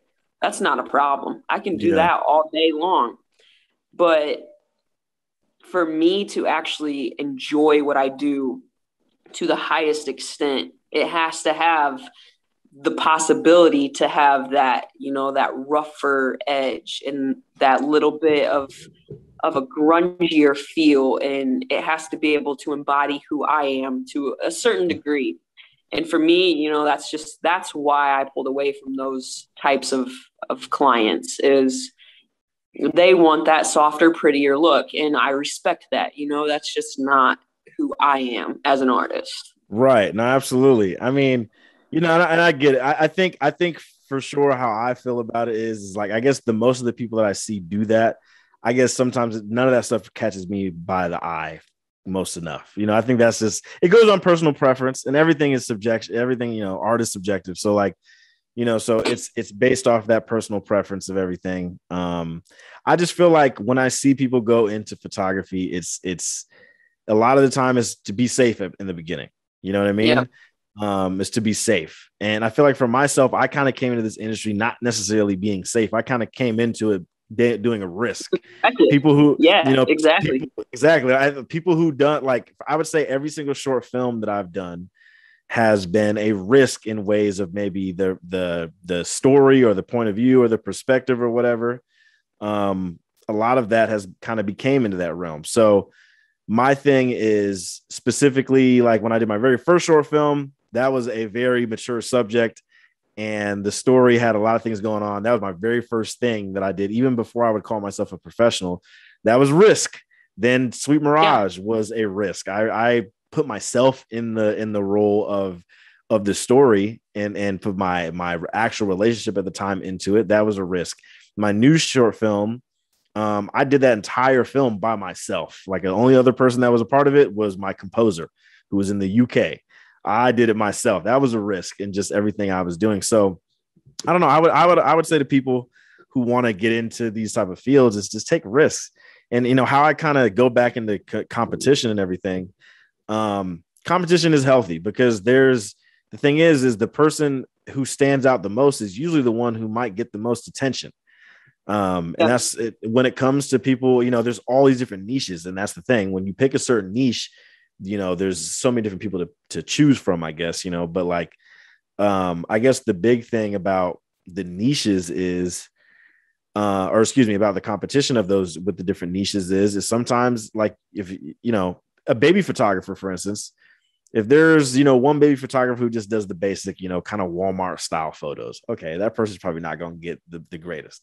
But imagine you had a baby photographer who puts the baby, the child, in these really crazy scenarios of, you know, visually, like, you know, instead you have a baby who's riding a horse through some fucking flames or something, you know, something that'd be funny, but something that's unique. Like there, there has to be some uniqueness there. And I, th- I think I said uh, for you, that's what stuck out to me is the uniqueness there. I feel like so many photographers just they they kind of blend together, and I think the oversaturation of the market that that is a bad thing in a way just because uh, with the Absolutely. blending of it with the blending of it there's also a lot of miscommunication and misrepresentation um, of other photographers too you know i've, I've yeah. heard i've heard people put themselves in situations where it's like you know um, that one person who just kind of has you know maybe subjectively not the greatest type of work gets the most clients just because i don't know and maybe just because of the the the cheapness and price, or maybe just because they um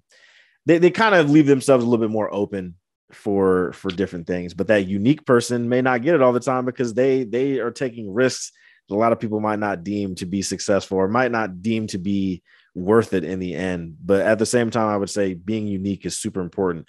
Um, with that, with all the competitive sides of it. I mean, and for yourself, right? Like, yeah, you have you have so much strength and so much confidence in your in what you're doing, what you're building. You know, it's it's great to have that because if you weren't out there being confident and saying certain things, people would want to lump you in with all the the soft photographers and the people who aren't doing, you know, uh, aren't doing dope shit. You know, and it's like you don't want to put yourself into that. Um a lot of people aren't confident. I mean that's just how i look at it. That's just this just how it has came to me because I, I don't want to be lumped in with people who are not who aren't confident in themselves and who aren't um aren't doing the aren't doing dope shit. I'm just gonna keep it real. You know what I mean? I, I don't like want to be mediocre. Don't want to be mediocre. I'm trying to be, you know, nobody cares, work hard. I'm trying to, I want to get in that mindset. I feel like those those folks are the, you know, somebody cares, I'll work less, you know, type people. you know, right. no, I definitely understand. It's not worth it, you know, and um social media presence, right? Going into the things that um have made you and your brand stick out so much. Like, do you understand the importance of, I guess, um, just like using social media and finding unique ways to use social media to your advantage, like um, business wise and creatively? Have you found that?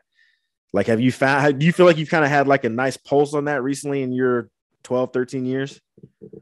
Um, yes and no. I feel like it's uh, obviously it's an ever growing, like ever changing type of avenue. Um, it's it's challenging, man. It's it's hard. It's it's a lot of work, and that's where like that surface level versus eat, sleep, and breathe it kind of comes into play. Um, that's also where like the teamwork comes into play.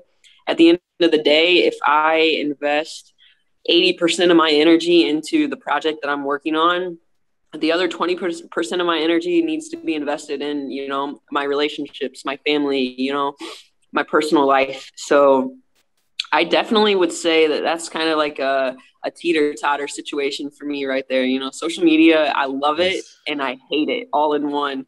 Um, yeah. And it, it's a huge tool. Obviously, any creative will tell you that. Uh, but man, it's it's a lot of work. It's exhausting, and I would love to hire in a full on like social media fucking person just to For be real. able to just take that off my plate. Um, and like I said, at the end of the day, you know, that's the goal is to actually build a team so that everyone has, you know, they have their identity and they have their their time to be able to focus on their aspect of Phocus Creations.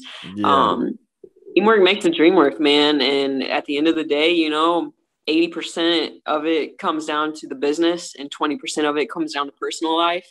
And that balance isn't always there. You know, sometimes it's flip flopped and especially, you know, creatives like myself that deal with some some mental health issues you know i'm it's huge right now mental health awareness and oh, yeah. i am a huge advocate for it. We have a line on the clothing company that says um, art is good for my mental health. I believe that wholeheartedly. I stand by that to my grave. Um, but the social media side of it man it's a huge tool absolutely but it's a lot of work and it's, it's so a delicate much. little dance.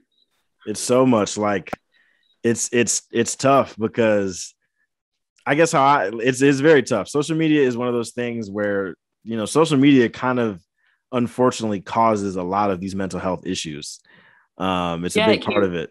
it. It's a big it's a big part of it nowadays. You know what I mean? Um, especially during the pandemic, which I want to talk about that too, just briefly. You know, but like how how was your time during the pandemic? How did you how are you how are you like sustaining yourself during that time as a creative and just uh, personally?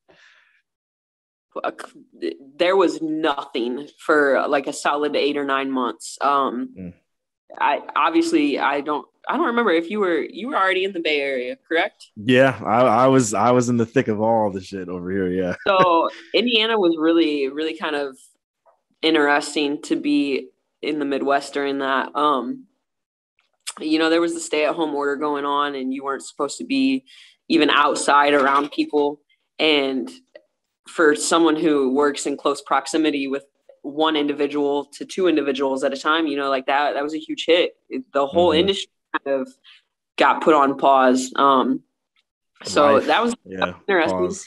But we kind of used that time. Um, that was kind of a, a good moment for us. You know, it, it gave us time to kind of pull out of, you know, being in the thick of it and being able to actually think about you know what is the three year plan? You know what is the five year plan? You know what is the end goal? How do we get there? How do we break it down? How do we make attainable smaller goals to get there you know?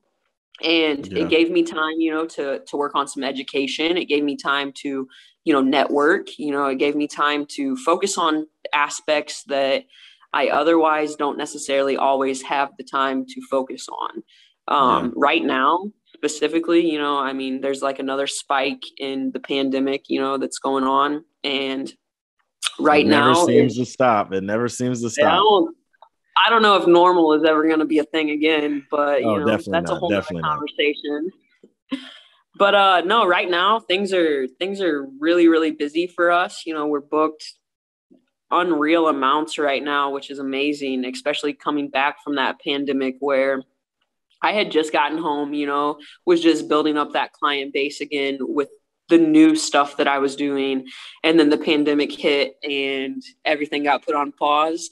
But I think, you know, at the end of the day, it was a blessing in disguise because it really did kind of give Ashley and I both the opportunity to kind of pull out and kind of kind of recenter and refocus, you know, what what the direction we wanted to move forward with was. Yeah, no, definitely. I would definitely say, yeah, the the pandemic for some people definitely was a, a huge blessing. Not a huge blessing. Let me not say huge blessing. it was a was a blessing. You know, a lot of people definitely had, you know, felt a lot of despair and and everything during that time. But yeah, the the pandemic. You know, I wanted to ask that because I definitely didn't know how how your time was. I remember, you know, back when the channel was Stefon's vlogs and all that. Um, I remember I I had a video where I just held, called up random people, not random people, but called up different people and just asked them about how they were doing during that time. And and I think all the creatives I know and all my creative friends, I was like, I want to, I wonder how they're handling it, you know, because definitely outside of just the pandemic, it was also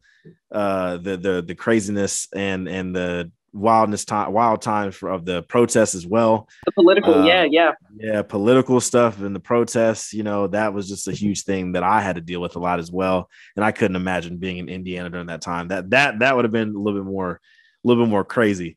In, in california is you know it's big as hell and there's a lot more there's a lot more presence in those protests but then but it but it was also more in a it was leaning on the we'll call it the left as most most people like most people like to say during being out in Indiana where it's a little bit more a little bit more open racism would have been very interesting. Um, but no, um, well, especially you know the home of the KKK over here. Yeah, yeah. So it's like you know the the yeah it was it was it was it was a, an interesting time to be alive. Let's just leave it at that. Yeah. It, um, it still is. It, still... it also gave like that opportunity to kind of put that that personal passion project out there again too. You know.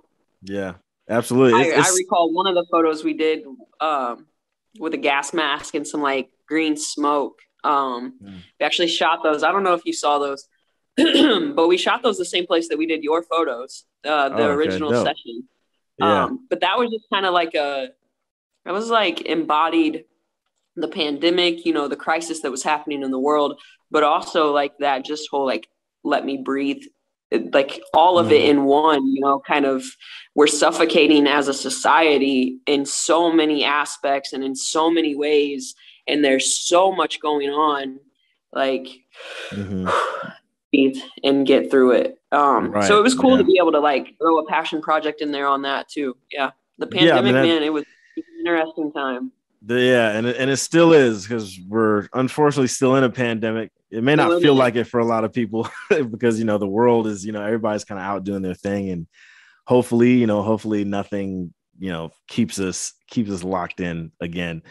Um, but yeah, no, it's it's um I think it's social media is such a back to social media. I think it's such a huge it is such a huge tool, and I and I feel like for myself, I feel like I feel like weird if I separate myself from it because you know there's also these things and maybe this is just the trick of social media or how social media ends up tricking people like us is sometimes when you're away from social media you think that some people might forget you you know or forget about the things that you right. do or the work that you create and for myself you know i'm like damn i don't want to just not be active on here for a little while and and and uh you know and people end up forgetting who the fuck I am. But then again, I guess sometimes I have to remind myself of just the impact that's already been placed there and you know realize yeah. the the staying power that you have. But do you find yourself taking breaks from social media every every now and then? Like do you do you plan for that?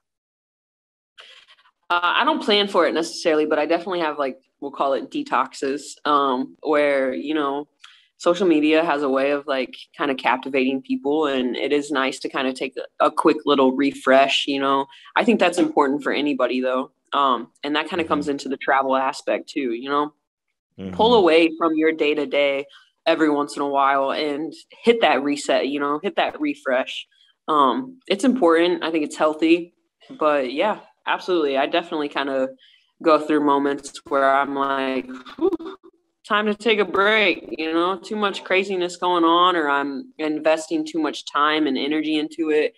Um, you got to find that that delicate dance that balance you know of personal and work. And as creatives i think we have a tendency as entrepreneurs in general um, we have a tendency to put over 100% into what we're doing and that's not a bad thing but you do definitely need to be able to hit that refresh you know and take some yeah. time and be you Yeah, especially because you know, as artists too. I mean, there's so much to delve really in that social media thing, but like, you know, sometimes it can be devastating for some for some folks when they don't get the exact reaction they may want.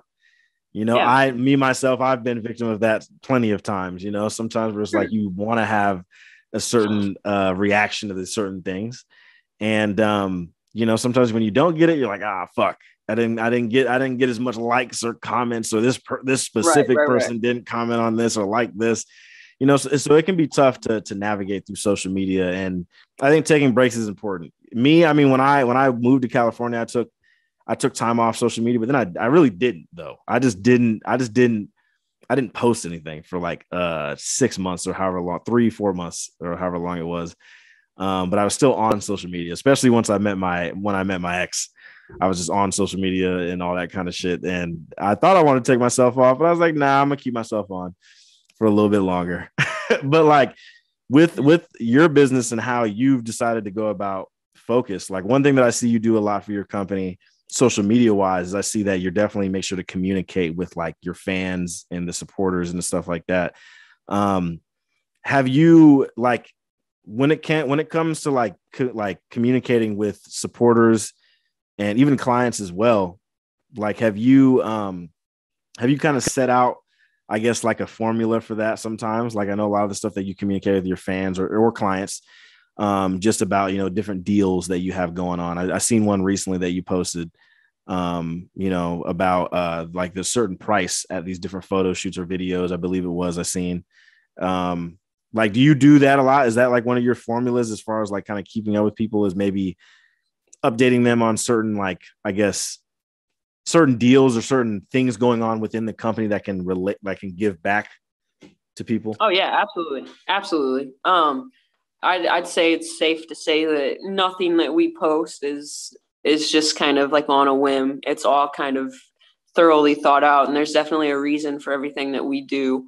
Um, but yeah, I would say social media in that aspect huge. It's it's very important to to make people feel like they're not just a client. You know, like you're yeah. you're more than a client. You know, you are sustaining my life. You are allowing me to continue to be a creative human being.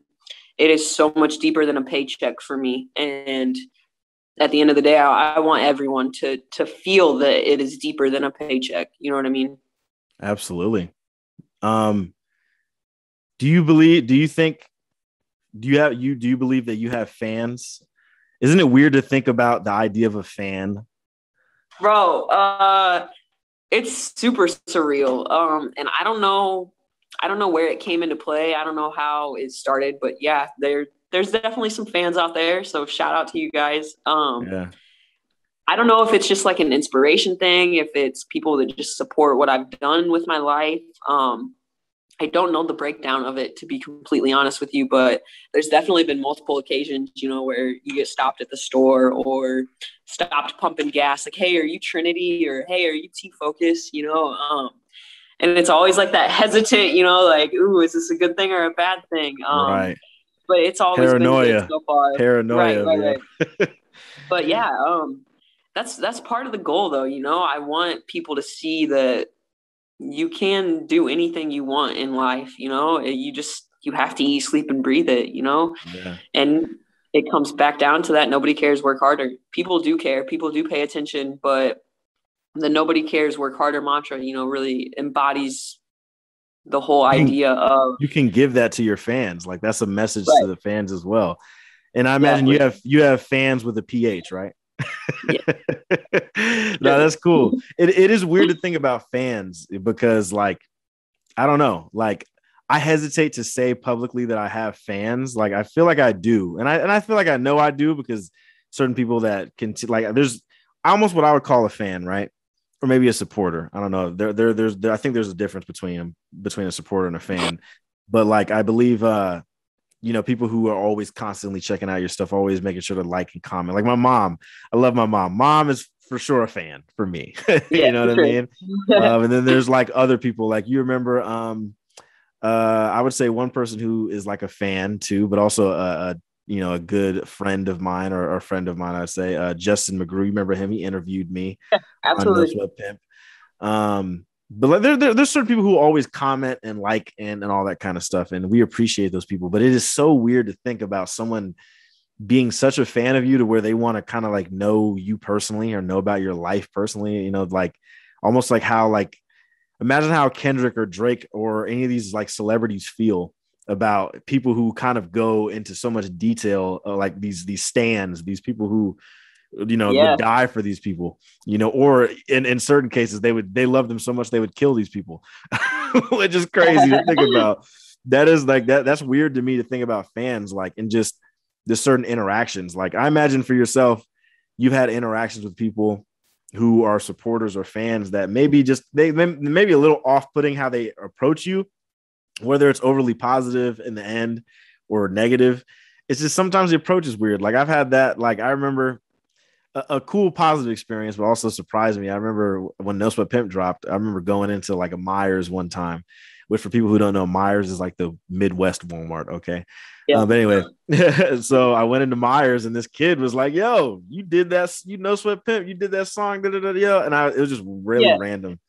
And uh, I had some friends with me at the time when we were just walking through the store, and I'm like, yeah, this is kind of weird and strange.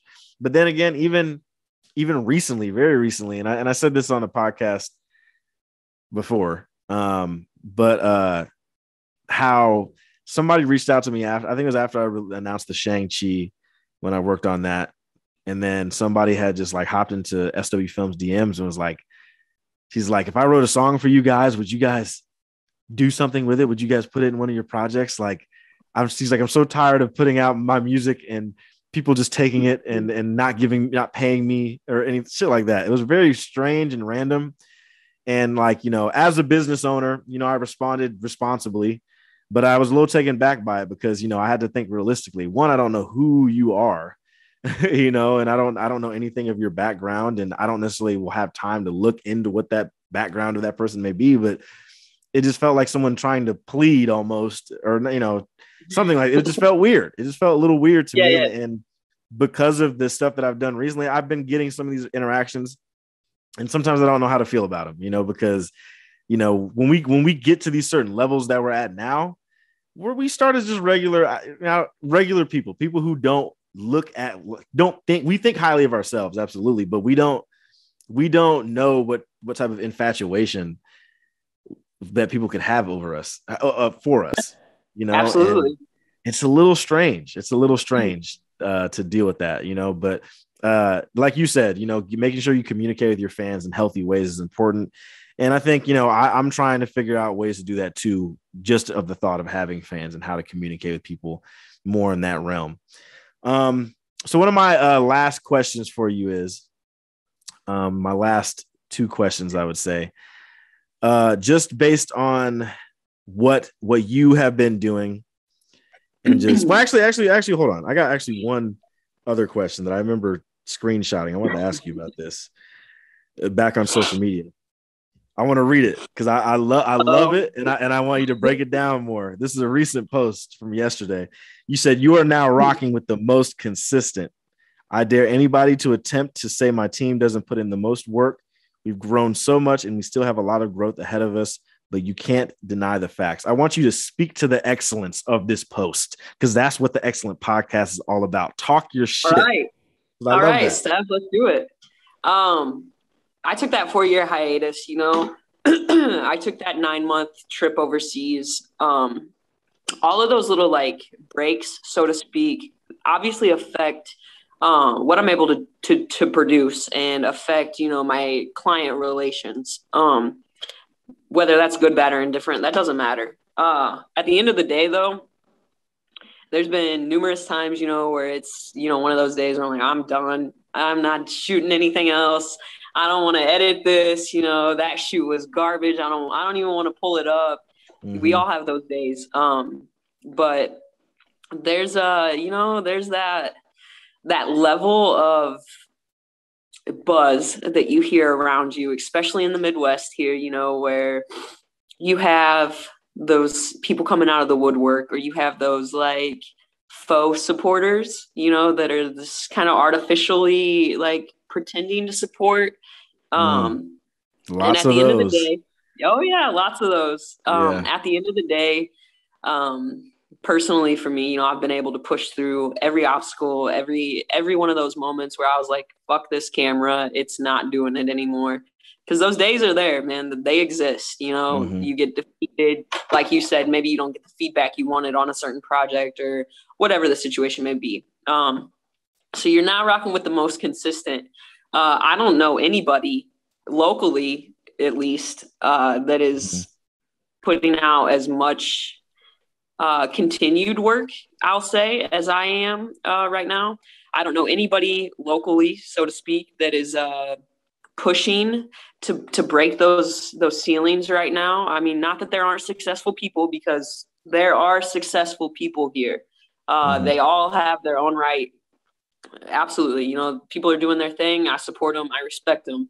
At the end of the day, um, I I feel that the move that we are making right now with Phocus um, is the most consistent. You know, I don't think anybody can deny the facts that we continue to grow.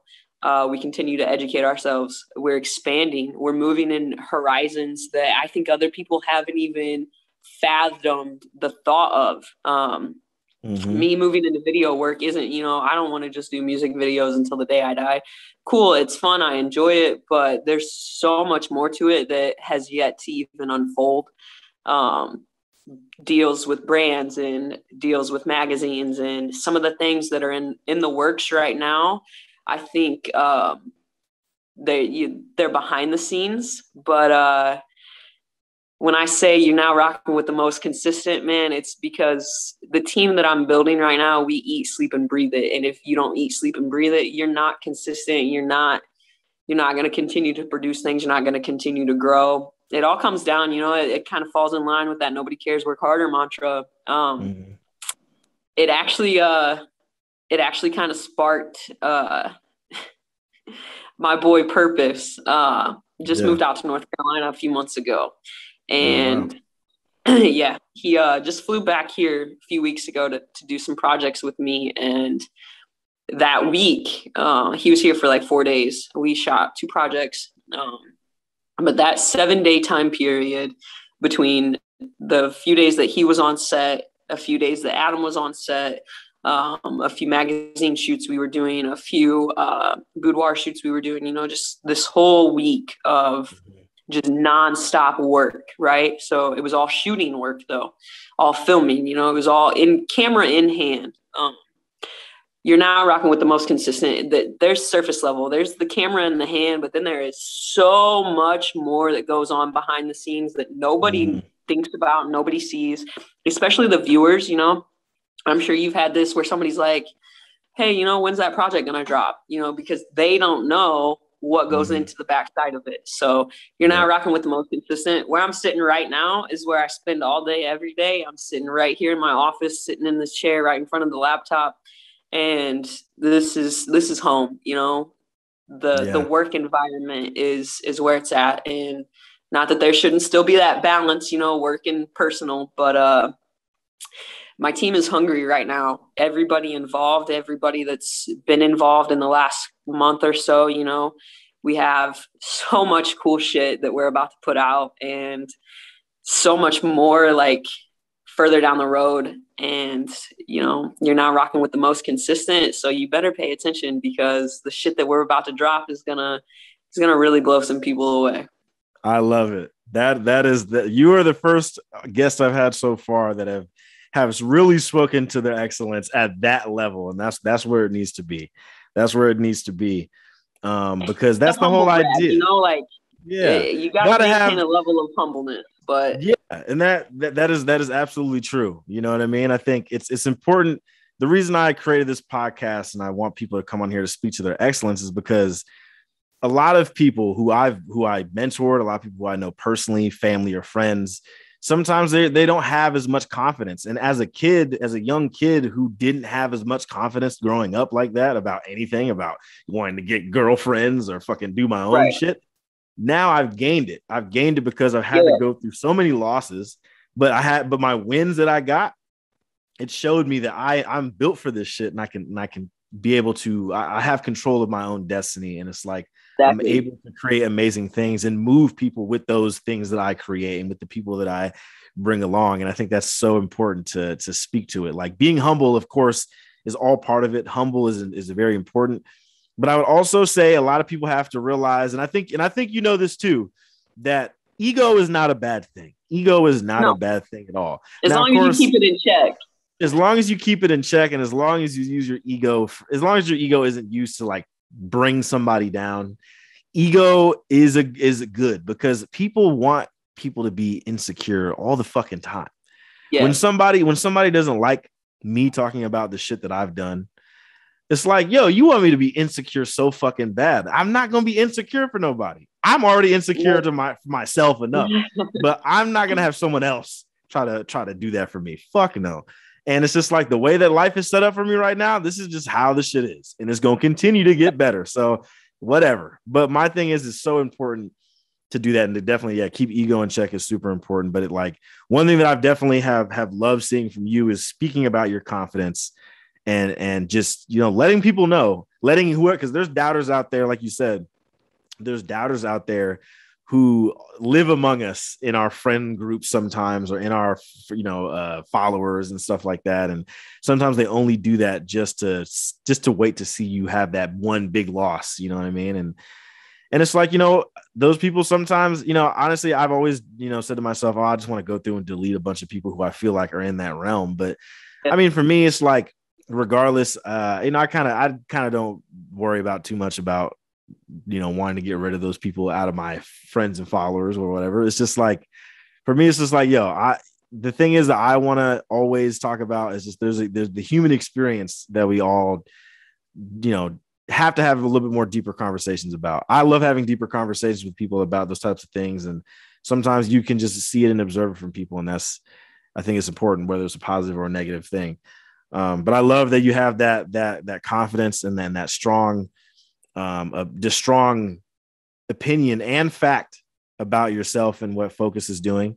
And I think that's really dope because not a lot of people who I know that are back home who are still at home or not create like you said not creating at a level that you are maybe not have that confidence because some people just don't want to put it out on social media i, I tell people you have to learn how to just you have to learn how to put them insecurities away and use the yep. use them to your advantage and exactly. just go out and be strong. Um, my last two questions here. what would the young version of yourself think about you today? What would the uh, two questions within that one question? What would the young version of yourself think about who you are today? And also, what would the person, the version about yourself that was maybe in the darkest places, what would that person think about who you are today and what you're doing? Man, honestly, it's it's a wonder that we made it here some days you know what i mean? Um dealing with mental health and being a creative and being thrown into that like social media universe and not being able to pull out of it because it sustains your livelihood and because it sustains your artistic creative side um definitely you know it, it definitely weighs on you. Um i would say my younger self would be probably blown away uh, just just by uh, physical appearance a little bit. You know, um, I've always been a little edgier. I've always been a little bit, you know, rough around the edges. But uh, uh, I think you know my mom in particular was kind of kind of floored by some of the tattoos. I think my family was kind of floored by some of the tattoos. Um, but at the end of the day, it's it's who I am. It's who I want to be. Um, it's who I'm proud to be, and creatively, you know, uh, I think all the roads that we took to get here were the roads that we had to take to get here. And in those darkest days, you know, those moments where you just want to give up and give in, um, that camera in my hand is probably, you know, one of the driving forces that continued to push me. So I would say, man, hey look ma we made it. That's that's coming soon you know? Uh yeah. we're we're we're continuing to kind of break through those ceilings and continuing to kind of grow. And that's all i want dude. I just i want to continue to grow. And that's always kind of been you know in the back of my head. Um, i grew up around entrepreneurs. My, my mom's an entrepreneur. Her father was an entrepreneur. Um, so there's kind of always been like that energy around me of you know you can you can do anything that you want in life and to to be able to like grow through those dark times and know that nothing in life is easy you know whether it's personal or work it doesn't matter. You can you can face adversity in a 9 to 5 no different than you can face adversity as an entrepreneur. Um, but i would say you know i i would say my younger self or the self of me that was in some of those darker moments i'm proud man i'm proud that we made it here today i'm excited for everything that's happening i don't think i would have ever envisioned that you know under 30 that we'd be where we're at right now with some of the stuff that's going on. And I can't wait to see what's next. That's beautiful. I hope this self right here, you know, is blown away by the self that I am in five years. That's beautiful. Honestly, yeah, I think that I think that's the best way to sum up the the the entire podcast right there. I think that's amazing. I think that's it's beautiful that you've got to see yourself grow at this rate and it's only going to get better seeing yourself grow along with like the team that you're building the family that you're going to build. Um you know once again of course like congratulations on the mayor i'm waiting for the wedding. Whenever that's going to happen let me know. I'll be back in indiana. We're eloping uh, bro? So it's going to be really intimate and really private uh yeah well regardless wh- wherever the hell whatever's happening whatever the celebration is going to be best believe i got to make sure I, I show up and and and and uh, give my uh, celebration to you guys as a couple. Yeah. And, and, you know, like I said, everything that you guys are building, it's amazing. So, um, to end off this, the, to end off this, please let know, please let everybody know who's listening and watching where to watch your excellence, where they can reach you at on social media. You know, let it, let it, uh, let it be known. Instagram, we got T dot Phocus, P H O C U S and Ashley's is A dot Phocus. We keep it simple, nice, nice and concise there. Uh, Phocus film on YouTube. Uh, just do a quick YouTube search. You'll find it. You'll find my channel. You'll find uh, anybody who's shot with me. They usually are pretty good about throwing it in there. Um, Facebook, Phocus Creations. It's easy, baby. Just find Phocus. P H O C U S. That's all there is to it. Awesome. That's great. And of course, people, you can also, of course, you know, people can buy uh, merch and stuff from you as well. I didn't really get into that, but people can buy merch. That link is actually on my Instagram bio direct. So sweet, sweet. That's awesome. Well, thank you, Trinity, for being a part of this this podcast and being a part of this episode. I appreciate you. This is uh this is great that we got a chance to catch up like this. And I'm super happy and excited for everything that you got going on. And, and I'm glad that you have continued to to only become much more greater than who you were yesterday. So uh, keep continuing to do that. Keep continuing to do excellence. And of course, for everyone listening and watching, you guys already know, make sure to subscribe to the Excellent Podcast, subscribe to SW Films. Um, and I will see you guys on the next one.